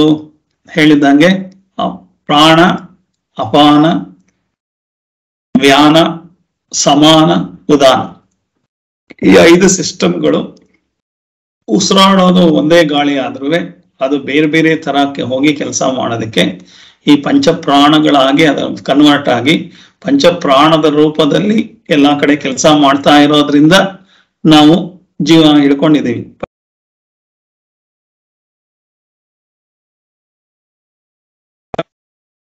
ಸೊ ಪಂಚಪ್ರಾಣದಲ್ಲಿ ಯಾವುದೋ ಒಂದೂನು ಕೆಲಸ ಕಡಿಮೆ ಮಾಡ್ತು ಅಂದ್ರೆ ಕಷ್ಟ ಆಗುತ್ತೆ ಸೊ ಪಂಚಪ್ರಾಣದ ಬಗ್ಗೆ ನೋಡಿದ್ವು. ನೆಕ್ಸ್ಟ್ ಮನಶ್ಚೈಕಂ ಬುದ್ಧಿಶ್ಚೈಕ ಅಂತ ಹೇಳಿದ್ದಾರೆ. ಅದನ್ನ ನಾನು ಇನ್ನೂ ಎರಡಿದೆ ಅಂತ ಹೇಳಿದ್ದಾರೆ. ಮುಂದೆ ಕೊನೆಯಲ್ಲಿ ಹೇಳ್ತಾರೆ ಅಂತ ಹೇಳಿದ್ದೆ. ಅದನ್ನ ಅಂತಃಕರಣ ಚತುಷ್ಟಯ ಅಂತ ಹೇಳ್ತಾರೆ. ಮನಸ್ಸು, ಬುದ್ಧಿ, ಚಿತ್ತ, ಅಹಂಕಾರ ಅಂತ. ಈ ನಾಲ್ಕು, ಮನಸ್ಸು ನಾಲ್ಕು ಲೇಯರ್ ಅಲ್ಲಿ ಕೆಲಸ ಮಾಡುತ್ತೆ. ಮನಸ್ಸು ಅನ್ನೋದು ನಮಗೆ, ನಮಗ್ ಗೊತ್ತಿರೋ ಹಾಗೆ ಮನಸ್ಸು ಅನ್ನೋದು ಸೈನ್ಸ್ ಪ್ರಕಾರ ಬ್ರೈನ್ ಅಲ್ಲಿದೆ ಅಂತ ಹೇಳ್ತಾ ಇದ್ದಾರೆ. ಅಂದ್ರೆ ನಮ್ಮ ಮನಸ್ಸೆಲ್ಲಿದೆ ಅಂದ್ರೆ ಬ್ರೈನ್ ಅಲ್ಲಿದೆ ಅಂತ. ಸೊ ಯಾವುದೋ ಯು- ಯುಗೋಸ್ಲಾವಿಯನ ಯಾವುದೋ ಒಂದು ದೇಶದಲ್ಲಿ ಈಗ ಹೊಸದಾಗಿ ನೋಡಿದರೆ ಆ ಮನುಷ್ಯನಿಗೆ ಬ್ರೈನೇ ಇಲ್ಲ, ಬಹಳ ಬುದ್ಧಿವಂತ ಆಗಿದ್ದಾನೆ. ಬ್ರೈನೇ ಇಲ್ದಲೇ ಇಲ್ಲಂದ್ರೂ ಬುದ್ಧಿವಂತ ಆಗಿದ್ದಾನೆ ಅಂದ್ರೆ ಹಾಗಾದ್ರೆ ಎಲ್ಲಿಂದ ಕೆಲಸ ಮಾಡ್ತಾ ಇದೆ ಮನಸ್ಸು? ಸೊ ಅದನ್ನ ಇಲ್ಲಿ ನಮ್ಮಲ್ಲಿ ಮುಂಚೆನೆ ಹೇಳಿದ್ದಾರೆ. ಬ್ರೈನಲ್ಲೇ ಬುದ್ಧಿ ಇದೆ, ಬ್ರೈನಲ್ಲೇ ಇದೆ ಅಂತ ಹೇಳೋದು ಅದೊಂದು ದಡ್ಡತನ. Brain major centre. ಬ್ರೈನಲ್ಲೇ ಎಲ್ಲಾವುದು ಬುದ್ಧಿಗಳು ಎಲ್ಲ ಅಲ್ಲೇ ಇರಲ್ಲ. ಫಾರ್ ಎಕ್ಸಾಂಪಲ್ ಹೇಗೆ ಅಂದ್ರೆ ಸೈಕಲ್ ಕಲಿಯೋ ತನಕ ನಾವು ಮನಸ್ಸನ್ನ ಇಟ್ಟು ಕಲಿತೀವಿ. ಸೈಕಲ್ ಕಲಿಯೋದು ಹೇಗೆ ಅಂತ ಇನ್ನೊಬ್ರು ಹೇಳ್ಕೊಡ್ತಾರೆ. ಸ್ಯಾಂಡ್ಲ್ ಸರಿಯಾಗಿ ಇಟ್ಕೋ ನೀವು ಇನ್ನೊಬ್ಬ ಎಕ್ಸ್ಪೀರಿಯನ್ಸ್ ಆಗಿರೋನು ಅಥವಾ ಇನ್ನೊಂದು ಪುಸ್ತಕ ನೋಡೋ ಕಲ್ತ್ಕೋತೀನಿ. ಸೊ ಹ್ಯಾಂಡ್ಲ್ ಸರಿಯಾಗಿ ಇಟ್ಕೋ ಸ್ಟ್ರೈಟ್ ಆಗಿ ಕೂತ್ಕೋ, ಬೆನ್ ಸರಿ ಮಾಡೋ ಕುತ್ಕೈ ಸರಿಯಾಗಿ ಇಟ್ಕೋ, ಮುಂದೆ ನೋಡು. ಇದೆಲ್ಲದು ಇನ್ಸ್ಟ್ರಕ್ಷನ್ಸ್ ಗಳನ್ನ ಹೇಳಿದ ಮೇಲೆ ಅದನ್ನ ಮೈಂಡ್ ತಗೊಳತ್ತೆ. ತಗೊಂಡಾದ್ಮೇಲೆ ಅದನ್ನ ಹೇಳಿ ಬ್ಯಾಲೆನ್ಸ್ ಮಾಡೋದನ್ನ ಬಾಡಿಗೆ ಹೇಳ್ಕೊಡುತ್ತೆ. ಬಾಡಿಗೆ ಹೇಳ್ಕೊಟ್ಟ ಮೇಲೆ ಬಾಡಿಗೆ ಮೈಂಡಿನ ಅವಶ್ಯಕತೆ ಇಲ್ಲ. ಈಗ ನಾನು ಸೈಕಲ್ ಹೊಡಿತಾ ಇದ್ದೀನಿ, ಚೆನ್ನಾಗಿ ಕಲ್ತಿದ್ದೀನಿ, ಕೈ ಬಿಟ್ಟು ಸೈಕಲ್ ಹೊಡಿತಾ ಇದ್ದೀನಿ. ಮನಸ್ಸು ಏನೋ ಬೇರೆ ಯೋಚನೆ ಮಾಡ್ತಾ ಇದೆ. ಮನಸ್ಸು ಸೈಕಲ್ ಮೇಲೆ ಇಲ್ವೇ ಇಲ್ಲ. ಅದ್ರ ಪಾಣದ ಸೈಕಲ್ ಹೊಡಿತಾ ಇದೆ. ಕಾಲು ಅದ್ರ ಪಾಣಗ ಸೈಕಲ್ ಹೊಡಿತಾ ಇದೆ. ಹಾಗಾದ್ರೆ ಇದಕ್ಕೆಲ್ಲ ಎಲ್ಲಿಂದ ಬಂತು ನಾಲೆಡ್ಜ್ ಅಂದ್ರೆ ಅದನ್ನೆಲ್ಲ ನಮ್ಮಲ್ಲಿ ಏನ್ ಹೇಳ್ತಾರೆ? ಮಜಲ್ ಮೆಮೊರಿ ಅಂತ ಹೇಳ್ತಾರೆ. ಆ ಮಜಲ್ಗಳಲ್ಲಿ ಅಲ್ಲಲ್ಲೇನೆ ಬುದ್ಧಿಗಳು ಅಲ್ಲಲ್ಲೇ ಸ್ಟೋರ್ ಆಗಿರುತ್ತೆ. ಅಲ್ಲಲ್ಲೇ ಬುದ್ಧಿ ಸ್ಟೋರ್ ಆಗಿ ಅಲ್ಲಲ್ಲೇ ತಕ್ಷಣ ಕೆಲಸಗಳು ಮಾಡ್ತಾ ಇರುತ್ತೆ. ಅದಕ್ಕೆ ಬೇಕಾಗೋ ಇನ್ಸ್ಟ್ರಕ್ಷನ್ಸ್ ಎಲ್ಲ ಬರುತ್ತೆ. ಆ ಮಸಲ್ ಮೆಮೊರಿ ಆದಷ್ಟು ಎಷ್ಟು ಬ್ರಿಲಿಯಂಟ್ ಆಗ್ತಾರೆ ಅಂದ್ರೆ, ಆ ಬುದ್ಧಿ ಪ್ರಪಂಚ, ದೇಹದ ಎಲ್ಲಾ ಕಡೆಗೂ ಪಸರಿಸಿಕೊಂಡಿದ್ರೆ ಅವ್ರು ತುಂಬಾ ಬ್ರಿಲಿಯಂಟ್ ಆಗಿ ಫಾಸ್ಟ್ ಆಗಿ ಚೆನ್ನಾಗಿ ಕೆಲಸ ಮಾಡ್ತಾರೆ. ಬರೀ ಬುದ್ಧಿ ಇಲ್ಲೇ ಇದೆ ಅಂತ ಕೆಲಸ ಮಾಡ್ತಾ ಇದ್ರೆ ಅಷ್ಟೇ ನಿಧಾನ ಕೆಲಸ ಆಗ್ತಾ ಇರುತ್ತೆ. ಸೊ ಅಂತಃಕರಣ ಚತುಷ್ಟಯ ಅಂತಂದ್ರೆ ಹೊರಗಡೆ ಕಾಣಿಸ್ತಾ ಇಲ್ಲ ಈ ಅಂಗಗಳು. ಇದು ನಾಲ್ಕು ಲೈಯರ್ ಅಲ್ಲಿ ಕೆಲಸ ಮಾಡ್ತಾ ಇದೆ. ಮನೋ ಬುದ್ಧಿ ಚಿತ್ತ, ಅಹಂಕಾರ ಅಂತ ಮನಸ್ಸು ಅನ್ನೋದು ಒಂದು ಮೊದಲನೇ ಉಪಕರಣ ನಮ್ಮ ಇದಕ್ಕೆ ಇರುವಂಥದ್ದು. ಆ ಮನಸ್ಸು ಅನ್ನೋದು ಏನ್ ತರ ಕೆಲಸ ಮಾಡುತ್ತೆ ಅಂತಂದ್ರೆ ಸಂಶಯಾತ್ಮಕ ಮನಃ ಅಂತ ಹೇಳ್ತಾರೆ. ಸಂಶಯಾತ್ಮಕ ಅದ್ರ ಬಗ್ಗೆನೂ ಇಲ್ಲಿ ಬರ್ದಿಲ್ಲ. ಇಲ್ಲಿ ಈ ತತ್ವಬೋಧದಲ್ಲಿ ನಾನು ಪಂಚಪ್ರಾಣದ ಬಗ್ಗೆ ಏನೂ ಬರ್ದಿಲ್ಲ. ಇಲ್ಲಿ ಅಂತಃಕರಣ ಚತುಷ್ಟಯದ ಬಗ್ಗೆನೂ ಬರ್ದಿಲ್ಲ. ಅಲ್ಲಿ ಏನ್ ಬರ್ದಿದ್ದಾರೆ? ಪಂಚಪ್ರಾಣಾದಯ ಮನಶ್ಚೈಕಂ ಬುದ್ಧಿಶ್ಚೈಕ ಏವಂ ಸಪ್ತದಶಾ ಕಲಾಭಿ ಸಹ ಎಸ್ತಿಷ್ಠತಿ ಸೂಕ್ಷ್ಮ ಶರೀರಂ ಇಷ್ಟೇ ಬರೆದಿದ್ದಾರೆ. ಸೊ ಇಲ್ಲಿ ನಾನು ಅಂತಃಕರಣ ಚತುಷ್ಟಯ ಅನ್ನೋ ಟಾಪಿಕ್ನ ಹೇಳ್ತಾ ಇದ್ದೀನಿ. ಅಂತಃಕರಣ ಚತುಷ್ಟಯದಲ್ಲಿ ನಾಲ್ಕು ಅಂತ ಹೇಳಿದೆ, ಮನಸ್ಸು ಅನ್ನೋದು ಮನಸ್ಸು ಹೇಗೆ ಕೆಲಸ ಮಾಡುತ್ತೆ ಅಂದ್ರೆ ಮನಸ್ಸಿಗೆ ಡಿಸೈಡ್ ಮಾಡಕ್ ಬರಲ್ಲ. ಮನಸ್ಸಿಗೆ ಅಲ್ಲಿ ಹೊರಗಡೆ ಏನಾದ್ರು ಆಗ್ತಾ ಇದೆ, ಅದನ್ನ ತಗೊಂಡು ತಕ್ಷಣ ಬುದ್ಧಿಗೆ ಕೊಟ್ಬಿಡತ್ತೆ ಹ್ಯಾಂಡ್ ಓವರ್ ಮಾಡಿದಾಗೆ. ಸೊ ಅಲ್ಲಿಂದ ತಗೊಂಡು ಬಿಸಿ ಬಿಸಿ ಇದು ಫಾರ್ ಎಕ್ಸಾಂಪಲ್ ಒಲೆ ಮೇಲೆ ರೊಟ್ಟಿ ಮಾಡ್ತಾ ಇದೀವಿ ಅಂತಂದ್ರೆ ರೊಟ್ಟಿ ಕೈ ಸುಡುತ್ತೆ ಅಂತ ತೆಗೆದು ತಟ್ಟೆಗೆ ಹಾಕ್ಬಿಡ್ತೀವಲ್ಲ, ಅಷ್ಟೇ ಕೆಲಸ ಮಾಡೋದು ಮನಸ್ಸು. ತಕ್ಷಣ ಹಿಡಿದು ಕೆಳಗಡೆ ಹಾಕ್ಬಿಡೋದು ಏನಿದೆ, ಅಷ್ಟೇ ಕೆಲಸ ಮಾಡುವಂಥದ್ದು ಏನಿದೆಯಲ್ಲ ಆ ಕ್ವಿಕ್ ಆಮೇಲೆ ಮನಸ್ಸಿಗೆ ಏನು ಕೆಲಸ ಇಲ್ಲ. ಮನಸ್ಸಿಗೆ ಅಷ್ಟೇ ಅಂದ್ರೆ ರೊಟ್ಟಿ ಕೆಲಸ ಮಾಡ್ತಾ ಇಲ್ಲ. ನಾನು ಹೇಳ್ತಾ ಇರೋದು ಮನಸ್ಸಿಗೆ ಬರೋ ವಿಷಯಗಳನ್ನೆಲ್ಲ ಅದು ತಗೊಂಡು ಕೊಟ್ಬಿಡುತ್ತೆ. ಯಾತಕ್ಕೆ? ಬುದ್ಧಿಗೆ ಕೊಡುತ್ತೆ. ಅಷ್ಟೇ ಮನಸ್ಸಿನ ಕೆಲಸ. ಮನಸ್ಸು ಡೌಟಿಂಗ್ ಫ್ಯಾಕಲ್ಟಿ ಅಂತ ಹೇಳ್ತಾರೆ ಸಂಶಯಾತ್ಮಕ ಮನಃ ಅಂತ. ಅದಕ್ಕೆ ಇದೋ, ಅದೋ ಅದೋ, ಇದೋ ಅಂತ ಎಲ್ಲ ಡೌಟೇ. ಇಪ್ಪತ್ನಾಲ್ಕು ಗಂಟೆ ಡೌಟೇಶ್ವರ ಅಂತ ಕರೀತಾರಲ್ಲ, ಅವ್ರು ಬರೀ ಮನಸ್ಸಿನಲ್ಲೇ ಆಪರೇಟ್ ಮಾಡ್ತಾ ಇದ್ರೆ ಅದಕ್ಕೆ ಡೌಟ್ ಅಂತ ಹೇಳ್ತಾರೆ. ಅದಕ್ಕೆ ಇನ್ನೂ ಒಂದ್ ಕಡೆ ಏನ್ ಹೇಳ್ತಾರೆ ಅಂದ್ರೆ, ಸಂಕಲ್ಪ ವಿಕಲ್ಪಾತ್ಮಕಂ ಮನಃ ಅಂತ ಹೇಳ್ತಾರೆ. ಈ ಆಸಿಲೇಟಿಂಗ್ ಫ್ಯಾಕಲ್ಟಿ ಅಂತ. ಈ ಗಡಿಯಾರದಲ್ಲಿ ಪೆಂಡುಲಮ್ ಈ ಕಡೆಯಿಂದ, ಆ ಕಡೆಗೆ, ಆ ಕಡೆಯಿಂದ, ಈ ಕಡೆಗೆ ಹೋಗ್ತಾ ಇರುತ್ತೆ. ಒಂದ್ ಕ್ಷಣ ಏನಾರು ನಿಂತ್ಕೊಳತ್ತಾ ಇಲ್ಲ. ಸುಮ್ಮನೆ ಈ ಕಡೆಯಿಂದ, ಆ ಕಡೆ, ಆ ಕಡೆಯಿಂದ, ಈ ಕಡೆ ಪೆಂಡುಲಮ್ ಹೊಡಿತಾ ಇರತ್ತಲ್ಲ, ಮನಸ್ಸು ಹಾಗೆ. ಸಂಕಲ್ಪ, ವಿಕಲ್ಪ, ಒಂದ್ ನಿಮಿಷ ಡಿಸೈಡ್ ಮಾಡುತ್ತೆ, ಇನ್ನೊಂದ್ ನಿಮಿಷ ಡಿಸೈಡ್ ಮಾಡಲ್ಲ. ಯಾಕೋ ಮನಸ್ಸು ತಳಮಳ ಆಗ್ತಾ ಇದೆ ಅಂತಂದ್ರೆ, ಅದಕ್ಕೆ ಡಿಸೈಡ್ ಮಾಡಕ್ ಆಗ್ತಾ ಇಲ್ಲ, ಹೀಗೆ ಹೀಗೆ ಆಗ್ತಾ ಇದೆ. ಸಂಕಲ್ಪ, ವಿಕಲ್ಪಾತ್ಮಕಂ ಮನಃ ಅಂತ ಹೇಳಿದ್ರೆ ಆಸಿಲೇಟಿಂಗ್ ಫ್ಯಾಕಲ್ಟಿ ಈ oscillating faculty doubt doubt doubt ಅದಕ್ಕೆ ಯಾಕೆ ಅಂದ್ರೆ ನಿಂತ್ಕೊಂಡು ಯೋಚನೆ ಮಾಡೋ ಕೆಪಾಸಿಟಿ ಇಲ್ಲ. ಸೊ ಈ ಡೌಟ್ ಇರೋದ್ರಿಂದ ಒಂದ್ ಕಡೆ ಹೋಗ್ತಾ ಇದ್ರೆ ಸಂಕಲ್ಪ ಅಂತ. ಈ ಕಡೆಗೆ ಹೋಗ್ತಾ ಇದ್ರೆ, ಓ, ಈ ತರ ಮಾಡ್ಬೋದು ಅಂತ ಹೇಳ್ತಿದ್ರೆ ಇಲ್ಲ ಇಲ್ಲ, ಈ ತರ ಮಾಡಕ್ಕಾಗಲ್ಲ ಅಂತ ಈ ಕಡೆಗೆ ಈಗ ವಾಪಸ್ ಬರುತ್ತೆ. ಈ ಕಡೆ ಬಂದ್ರೆ ವಿಕಲ್ಪ. ಇಲ್ಲಿ ಮಾಡಿದ್ದಕ್ಕೆ ಆಪೋಸಿಟ್ ಆಗಿ ಯೋಚನೆ ಮಾಡ್ತಿರ್ಗ ಇಲ್ಲಿಗೆ ವಾಪಸ್ ಬರುತ್ತೆ. ಈ ಸಂಕಲ್ಪ, ವಿಕಲ್ಪ ಅಂದ್ರೆ ತೀರ್ಮಾನ ಮಾಡೋದು, ತೀರ್ಮಾನ ಮಾಡೋದ್ರಲ್ಲಿ ಇರೋದು. ಎರಡನ್ನು ಹೀಗೆ ಮಾಡ್ತಾ ಇರೋದು, ಮಾಡಿದ ತೀರ್ಮಾನನು ಕ್ಯಾನ್ಸಲ್ ಮಾಡೋದು. ಏನಿದೆ? ಸಂಕಲ್ಪ ವಿಕಲ್ಪಾತ್ಮಕ ಮನಃ ಅಂತ. ಸೊ ಇಷ್ಟೇ ಮನಸ್ಸಿನ ಕೆಲಸ. ಇದಕ್ಕೆ ಎಮೋಷನ್ಸ್ ಫೀಲಿಂಗ್ಸೇ ಬಹಳ ಇಂಪಾರ್ಟೆಂಟ್ ಯಾರಾದ್ರೂ ಏನಾದ್ರೂ ಇದಾಯ್ತು ಅಂದ್ರೆ ಅಳಕ್ ಬರುತ್ತೆ, ತುಂಬಾ ಖುಷಿಯಾಗಿ ಬರುತ್ತೆ, ಬರೀ ಎಮೋಷನ್ ಅಲ್ಲಿ ಇರುತ್ತೆ. ನಾನು ನಿಜವಾಗ್ಲೂ ಇದಕ್ಕೆ ನಗಬೇಕಾ, ಬೇಡವಾ, ಅಳಬೇಕಾ ಅನ್ನೋದು ಯಾವುದೂ ಗೊತ್ತಿಲ್ಲ. ಸೊ ಬುದ್ಧಿ ಹೇಳತ್ತೆ. ಬುದ್ಧಿ ಮಾತ್ರ ಅದನ್ನ ಡಿಸೈಡ್ ಮಾಡಿ ಬೇಡ ಬೇಡ, ನಗ್ಬೇಡ, ಬೇಜಾರು, ಬೇರೆಯವ್ರು ಬೇಜಾರು ಮಾಡ್ಕೋತಾರೆ ಅಂತಂದ್ರೆ ಅವಾಗ ಮನಸ್ಸನ್ನ ಓವರ್ ರೂಲ್ ಮಾಡ್ತಾ ಇದೆ. ಮನಸ್ಸು ನಗು ಅಂತ ಹೇಳಿದ್ರು ಬುದ್ಧಿ ಹೋಗಿ ಒಳಗಡೆ ಓವರ್ ರೂಲ್ ಮಾಡಿ, ಇಲ್ಲ ಇಲ್ಲ, ಇದೆಲ್ಲ ನೀನ್ ಆತರ ನಕ್ಬಿಟ್ರೆ ಬೇರೆಯವರಿಗೆ ಬೇಜಾರಾಗುತ್ತೆ, ನಗ್ಬೇಡ ಅಂತ ಹೇಳ್ಬೇಕಾದ್ರೆ ಯಾರು ಹೇಳ್ತಾ ಇದ್ದಾರೆ ಅಂದ್ರೆ ಆ ಬುದ್ಧಿನ ಲೇಯರ್ ಅಲ್ಲಿ ಕೆಲಸ ಮಾಡ್ತಾ ಇದೆ. ಸೊ ಫಸ್ಟ್ ಮನಸ್ಸು. ಮನಸ್ಸಿಗೆ ಇಷ್ಟೇ ಕೆಲಸ. ಮನಸ್ಸು ಸಂಶಯಾತ್ಮಕ ಮನಃ ಸಂಕಲ್ಪ ವಿಕಲ್ಪಾತ್ಮಕ ಮನಃ ಅಂತ ಹೇಳ್ತಾರೆ. ಸೊ ಅದಕ್ಕೆ ಎಮೋಷನ್ಸ್ ಫೀಲಿಂಗ್ಸ್ ಇಷ್ಟೇ ಗೊತ್ತಿರೋದು. ಬುದ್ಧಿ. ಬುದ್ಧಿ ಅಂತಂದ್ರೆ ಇಂಟೆಲೆಕ್ಟ್ ಅಂದ್ರೆ ಇದಕ್ಕೆ ಲಾಜಿಕ್ ಕೆಪಾಸಿಟಿ ರೀಸನಿಂಗ್ ಕೆಪಾಸಿಟಿ ಎಲ್ಲದು ಇದೆ. ನಮಗೆ ಬ್ರೈನ್ ಅಲ್ಲಿ ರೈಟ್ ಬ್ರೈನು ಲೆಫ್ಟ್ ಬ್ರೈನ್ ಅಂತ ಇದ್ರೆ ರೈಟ್ ಬ್ರೈನ್ ಅನ್ನೋದು ಕಲಾತ್ಮಕವಾಗಿರುವಂಥದ್ದು ಲೆಫ್ಟ್ ಬ್ರೈನ್ ಅಂತದ್ದು ಬರೀ ಲಾಜಿಕಲ್ ಮೈಂಡ್ ರ್ಯಾಷನಲ್ ಮೈಂಡ್ ಅಂತ ಹೇಳ್ತಾರೆ. ಇದಕ್ಕೆ ಬರೀ ಮ್ಯಾಥಮೆಟಿಕ್ಸ್ ಲಾಜಿಕ್ಸ್ ಇಷ್ಟೇ ಗೊತ್ತಿದೆ. ಲೆಫ್ಟ್ ಅಲ್ಲಿರೋ ಮೈಂಡ್ಗೆ ರೈಟ್ ಅಲ್ಲಿರೋ ಮೈಂಡ್ಗೆ ಮ್ಯೂಸಿಕ್ ಆರ್ಟು ಆ ಥರದ್ದೆಲ್ಲ ಫೀಲಿಂಗ್ಸು ಎಮೋಷನ್ಸ್ ಎಲ್ಲ ಗೊತ್ತಿದೆ. ಇದೆರಡು ಬ್ಯಾಲೆನ್ಸ್ ಫುಲ್ ಆಗಿರ್ಬೇಕು. ಎರಡು ಬ್ಯಾಲೆನ್ಸ್ ಇಲ್ದಲೆ ಬರೀ ರೈಟ್ ಬ್ರೈನ್ ಓರಿಯೆಂಟೆಡ್ ಆಗಿದ್ರೆ ಮಾತ್ ಮಾತ್ಗೂ ಅಳು ಬರ್ತಾ ಇರುತ್ತೆ ಮಾತ್ ಮಾತ್ಗೂ ಇದು ಬರ್ತಾ ಇರುತ್ತೆ. ಬರೀ ಲೆಫ್ಟ್ ಬ್ರೈನೇ ಓರಿಯೆಂಟ್ ಆಗ್ಬಿಟ್ಟಿದ್ರೆ ಅವನಿಗೆ ಯಾವುದೂ ಫೀಲಿಂಗ್ಸೇ ಇರಲ್ಲ. ಅವನ್ ಸುಮ್ಮನೆ ರೈನ್ ಲೆಫ್ಟ್ ಬ್ರೈನ್ ಅಲ್ಲೇ ಪೂರ್ತಿ ಜೀವನ ಮಾಡ್ತಾ ಇದ್ರೆ ಅವನ್ಗೆ ಅದು ಇರಲ್ಲ. ಸೊ ಹಾಗಾಗಿ ಎರಡು ಬ್ಯಾಲೆನ್ಸ್ ಆಗ್ಬೇಕು. ಅದನ್ನೇ ಅರ್ಧನಾರೀಶ್ವರ ಅಂತ ಹೇಳುವಂತ ಕೆಲಸ. ಅರ್ಧ ಫೀಮೇಲ್ ಅರ್ಧ ಮೇಲು ಯಾಕೆ ಇದ್ರೆ ಅರ್ಧ ಈ ಕಡೆ ಬ್ರೈನು ಅರ್ಧ ಈ ಕಡೆ ಬ್ರೈನು ಎರಡು ಕರೆಕ್ಟ್ ಆಗಿ ಕೆಲಸ ಮಾಡಿದ್ರೆ ಅವ್ನು ಬಹಳ ಬುದ್ಧಿವಂತವಾಗಿ ಕೆಲಸ ಮಾಡ್ತಾ ಇರ್ತಾನೆ ಪ್ರಪಂಚದಲ್ಲಿ ಅಂತ. ಸೊ ಮನಸ್ಸು ಸಂಶಯಾತ್ಮಕ ಮನಃ ಆದ್ರೆ ಈ ಬುದ್ಧಿ ಅನ್ನೋದು ನಿಶ್ಚಯಾತ್ಮಕ ಬುದ್ಧಿ ಅಂತ ಹೇಳ್ತಾನೆ. ಸೊ ಸಂಶಯಾತ್ಮಕ ಮನ ಈ ತರ ಒಂದು ಪೆಂಡುಲಮ್ ತರ ಹೀಗೆ ಹೀಗೆ ಹೋಗ್ತಾ ಇದ್ರೆ ಅದನ್ನ ನಿಲ್ಸೋದು ಯಾರಪ್ಪ ಅಂತಂದ್ರೆ ಈ ಬುದ್ಧಿ. ಬುದ್ಧಿ "ಏಯ್, ಹೋಗ್ಬೇಡ ನಿಂತ್ಕೋ ಅಂತ ಹೇಳಿದಾಗ ನಿಂತ್ಕೊಳತ್ತೆ. ನಿಂತ್ಕೊಳ್ಳೋದು ಅಂತಂದ್ರೆ ಡಿಸೈಡ್ ಮಾಡ್ತಿದ್ದೀನಿ ನಾನು. ನೀ ಸುಮ್ಮನೆ ಈ ಕಡೆ ಆ ಕಡೆ ಒಳ್ಳೆ ಕೋತಿ ತರ ಹಾರಾಡ್ತಾ ಇರಬೇಡ ಅಂತ ಹೇಳಿ ನಿಲ್ಸತ್ತೆ. ಅದಕ್ಕೆ ನಿಶ್ಚಯಾತ್ಮಕ ಬುದ್ಧಿ ಅಂತ ಆ ಯಾವಾದ ಆಸೋಲೇಷನ್ ನಿಲ್ಸಿ ಒಂದು ಡಿಸೈಡ್ ಮಾಡೋ ಅಂತ ಕೆಪಾಸಿಟಿ ಯಾವ್ದಕ್ಕಿದೆ ಅಂತಂದ್ರೆ ಈ ಒಂದು ಬುದ್ಧಿಗಿದೆ. ಬುದ್ಧಿನೂ ಸೂಕ್ಷ್ಮ ಶರೀರದಲ್ಲಿ ಇರೋ ಅಂತದೇ ಹತ್ತೊಂಬತ್ತು ಅಂಗಗಳು ಹೇಳಿದ್ನಲ್ಲ? ಪಂಚ ಕರ್ಮೇಂದ್ರಿಯ ಪಂಚ ಜ್ಞಾನೇಂದ್ರಿಯ ಪಂಚ ಕರ್ಮೇಂದ್ರಿಯ ಪಂಚಪ್ರಾಣ, ಈ ನಾಲ್ಕು ಅಂತಃಕರಣ ಚತುಷ್ಟಯ, ಇಷ್ಟು ಸೇರಿ ಹತ್ತೊಂಬತ್ತು ಇನ್ಸ್ಟ್ರೂಮೆಂಟ್ಗಳು ಸೂಕ್ಷ್ಮ ಶರೀರದ ಒಳಗಡೆ ಇದೆ. ಈಗ ಹತ್ತೊಂಬತ್ತು ಇನ್ಸ್ಟ್ರೂಮೆಂಟ್ನ ನೋಡ್ತಾ ಇದೀವಿ ಅಷ್ಟೇ ಇದು ಒಂದು ಇನ್ಸ್ಟ್ರೂಮೆಂಟ್ ಬುದ್ಧಿ ಅನ್ನೋದು ಒಂದು ಇನ್ಸ್ಟ್ರೂಮೆಂಟ್ ಸೊ ಇದು ಒಂದು ಇಂಟಲೆಕ್ಚುಯಲ್ ಕೆಪಾಸಿಟಿ ಅಥವಾ ರ್ಯಾಷನಲ್ ಲಾಜಿ ಲಾಜಿಕಲ್ ಕೆಪಾಸಿಟಿ ಒಂದು ಲಾಜಿಕ್ ಆಗಿ ಯೋಚನೆ ಮಾಡಿ ಡಿಸೈಡ್ ಮಾಡೋದಕ್ಕೆ ಬೇಕಾಗುವ ಎಲ್ಲ ಬುದ್ಧಿಶಕ್ತಿ ಇಲ್ಲಿದೆ ಅಂತ. ಸೊ ಇದಾದ್ಮೇಲೆ ಇನ್ನೆರಡು ಹೇಳಿರ್ಲಿಲ್ಲ. ಇನ್ನೆರಡನ್ನು ಹೇಳ್ತಾ ಇದ್ದೀನಿ. ಇನ್ನೊಂದು ಚಿತ್ತ ಅಂತ.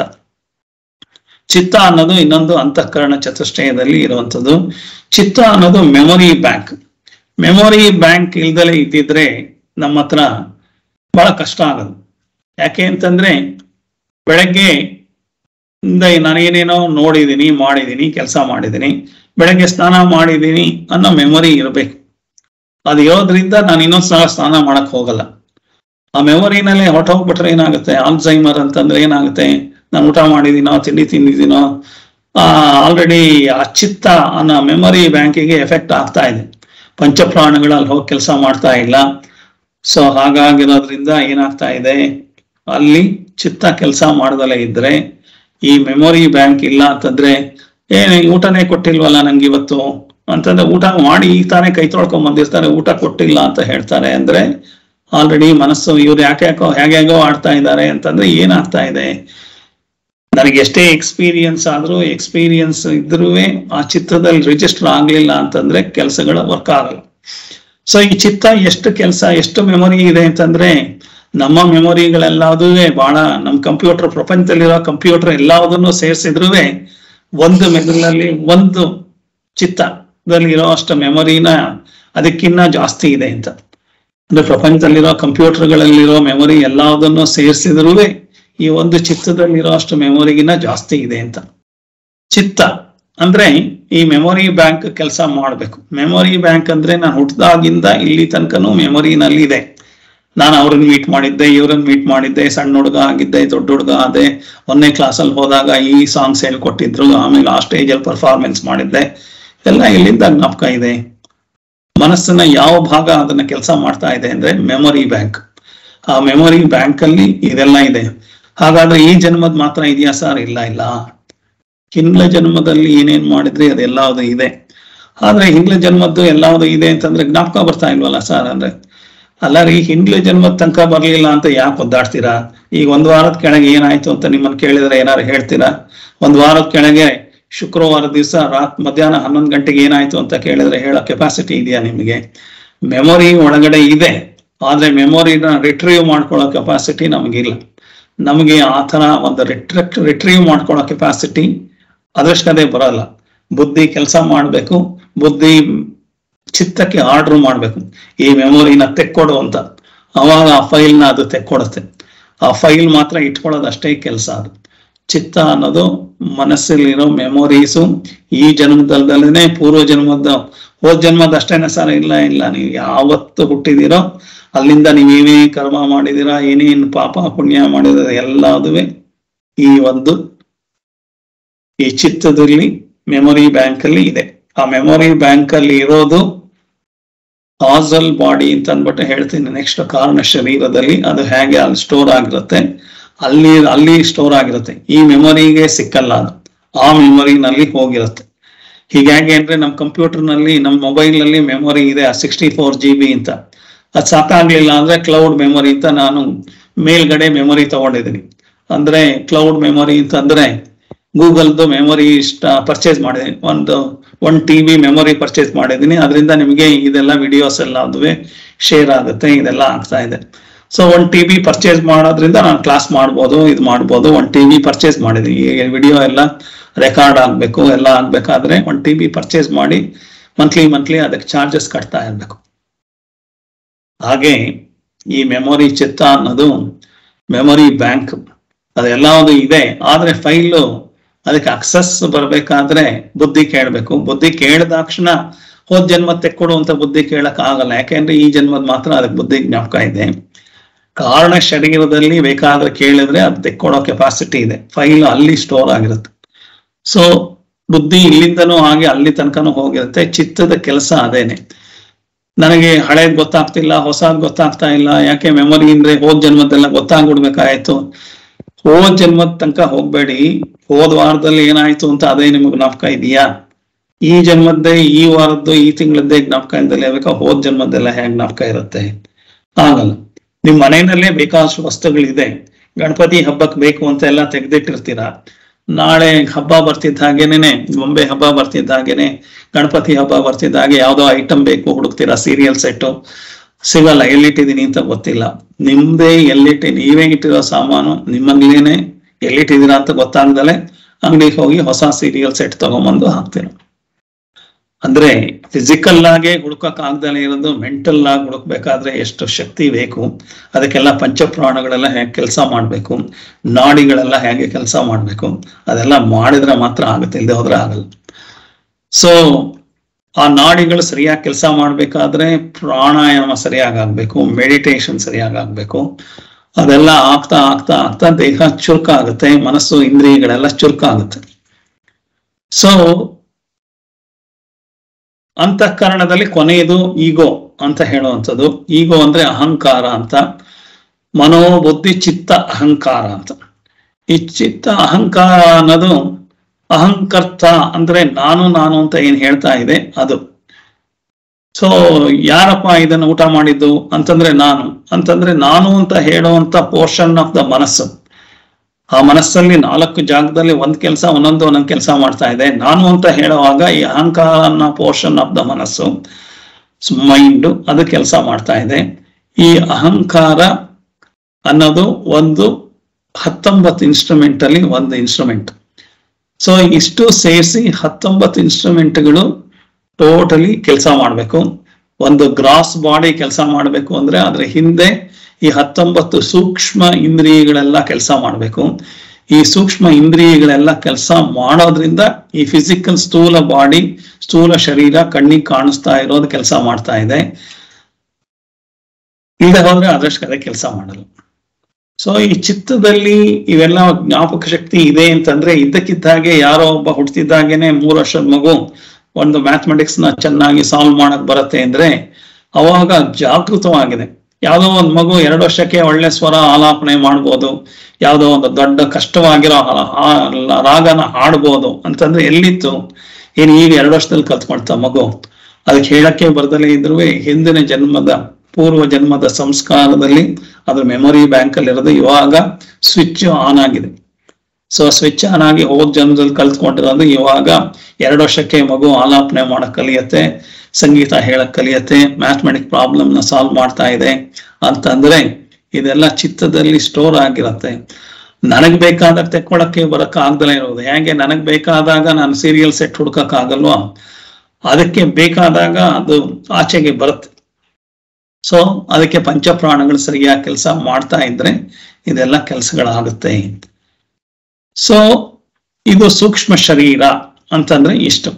ಸೂಕ್ಷ್ಮ ಶರೀರ ಅಂತಂದ್ರೆ ಸೂಕ್ಷ್ಮ ಶರೀರಂ ಕಿಂ ಅಪಂಚೀಕೃತ ಪಂಚ ಮಹಾಭೂತೈ ಮಹಾಭೂತೈಕೃತಂ ಸತ್ಕರ್ಮಜನ್ಯಂ ಸುಖ ದುಃಖಾದಿ ಭೋಗ ಸಾಧನಂ. ಯಾವ್ಯಾವುದು? ಪಂಚ ಜ್ಞಾನೇಂದ್ರಿಯಾಣಿ ಪಂಚಕರ್ಮೇಂದ್ರಿಯಾಣಿ ಪಂಚ ಪ್ರಾಣಾದಯ ಮನಶ್ಚೈಕಂ, ಬುದ್ಧಿಶ್ಚೈಕ ಚಿತ್ತಶ್ಚೈಕಂ ಶೈಕಂ ಅಂತ ಹೇಳಿ this all put together is called ಸೂಕ್ಷ್ಮ ಶರೀರಂ. ಹತ್ತೊಂಬತ್ತು ಕಾಂಪೋನೆಂಟ್ಗಳು ಈ ಸೂಕ್ಷ್ಮ ಶರೀರ ಕೆಲಸ ಮಾಡಿದ್ರೆ ಮಾತ್ರ ಸ್ಥೂಲ ಶರೀರ ಕೆಲಸ ಮಾಡುತ್ತೆ. ಇಲ್ಲಿ ಹೋದ್ರೆ ಕೆಲಸ ಮಾಡಲ್ಲ. ಅಂತ ಹೇಳಿ ಇವತ್ತು ಕಾರಣ ಶರೀರ ತಗೋಬೇಕಂತ ಇದ್ದೆ. ಕಾರಣ ಶರೀರ ಮಾಡಕ್ ಆಗ್ತಾ ಇಲ್ಲ. ನೆಕ್ಸ್ಟ್ ಕ್ಲಾಸಲ್ಲಿ ಮಾಡ್ತೀನಿ. ಇಲ್ಲಿಗೆ ಈ ಪಾಠ ಮುಗಿಸ್ತಾ ಇದ್ದೀನಿ. ಧನ್ಯವಾದಗಳು. ಓಂ. ಸರ್ವೇ ಭವಂತು ಸುಖಿನಃ ಸರ್ವೇ ಸಂತು ನಿರಾಮಯಾಃ ಸರ್ವೇ ಭದ್ರಾಣಿ ಪಶ್ಯಂತು ಮಾ ಕಶ್ಚಿತ್ ದುಃಖ ಭಾಗ್ ಭವೇತ್ ಓಂ ಶಾಂತಿ ಶಾಂತಿ ಶಾಂತಿ ಹರಿ ಓಂ ಶ್ರೀ ಗುರುಭ್ಯೋ ನಮಃ ಹರಿ ಓಂ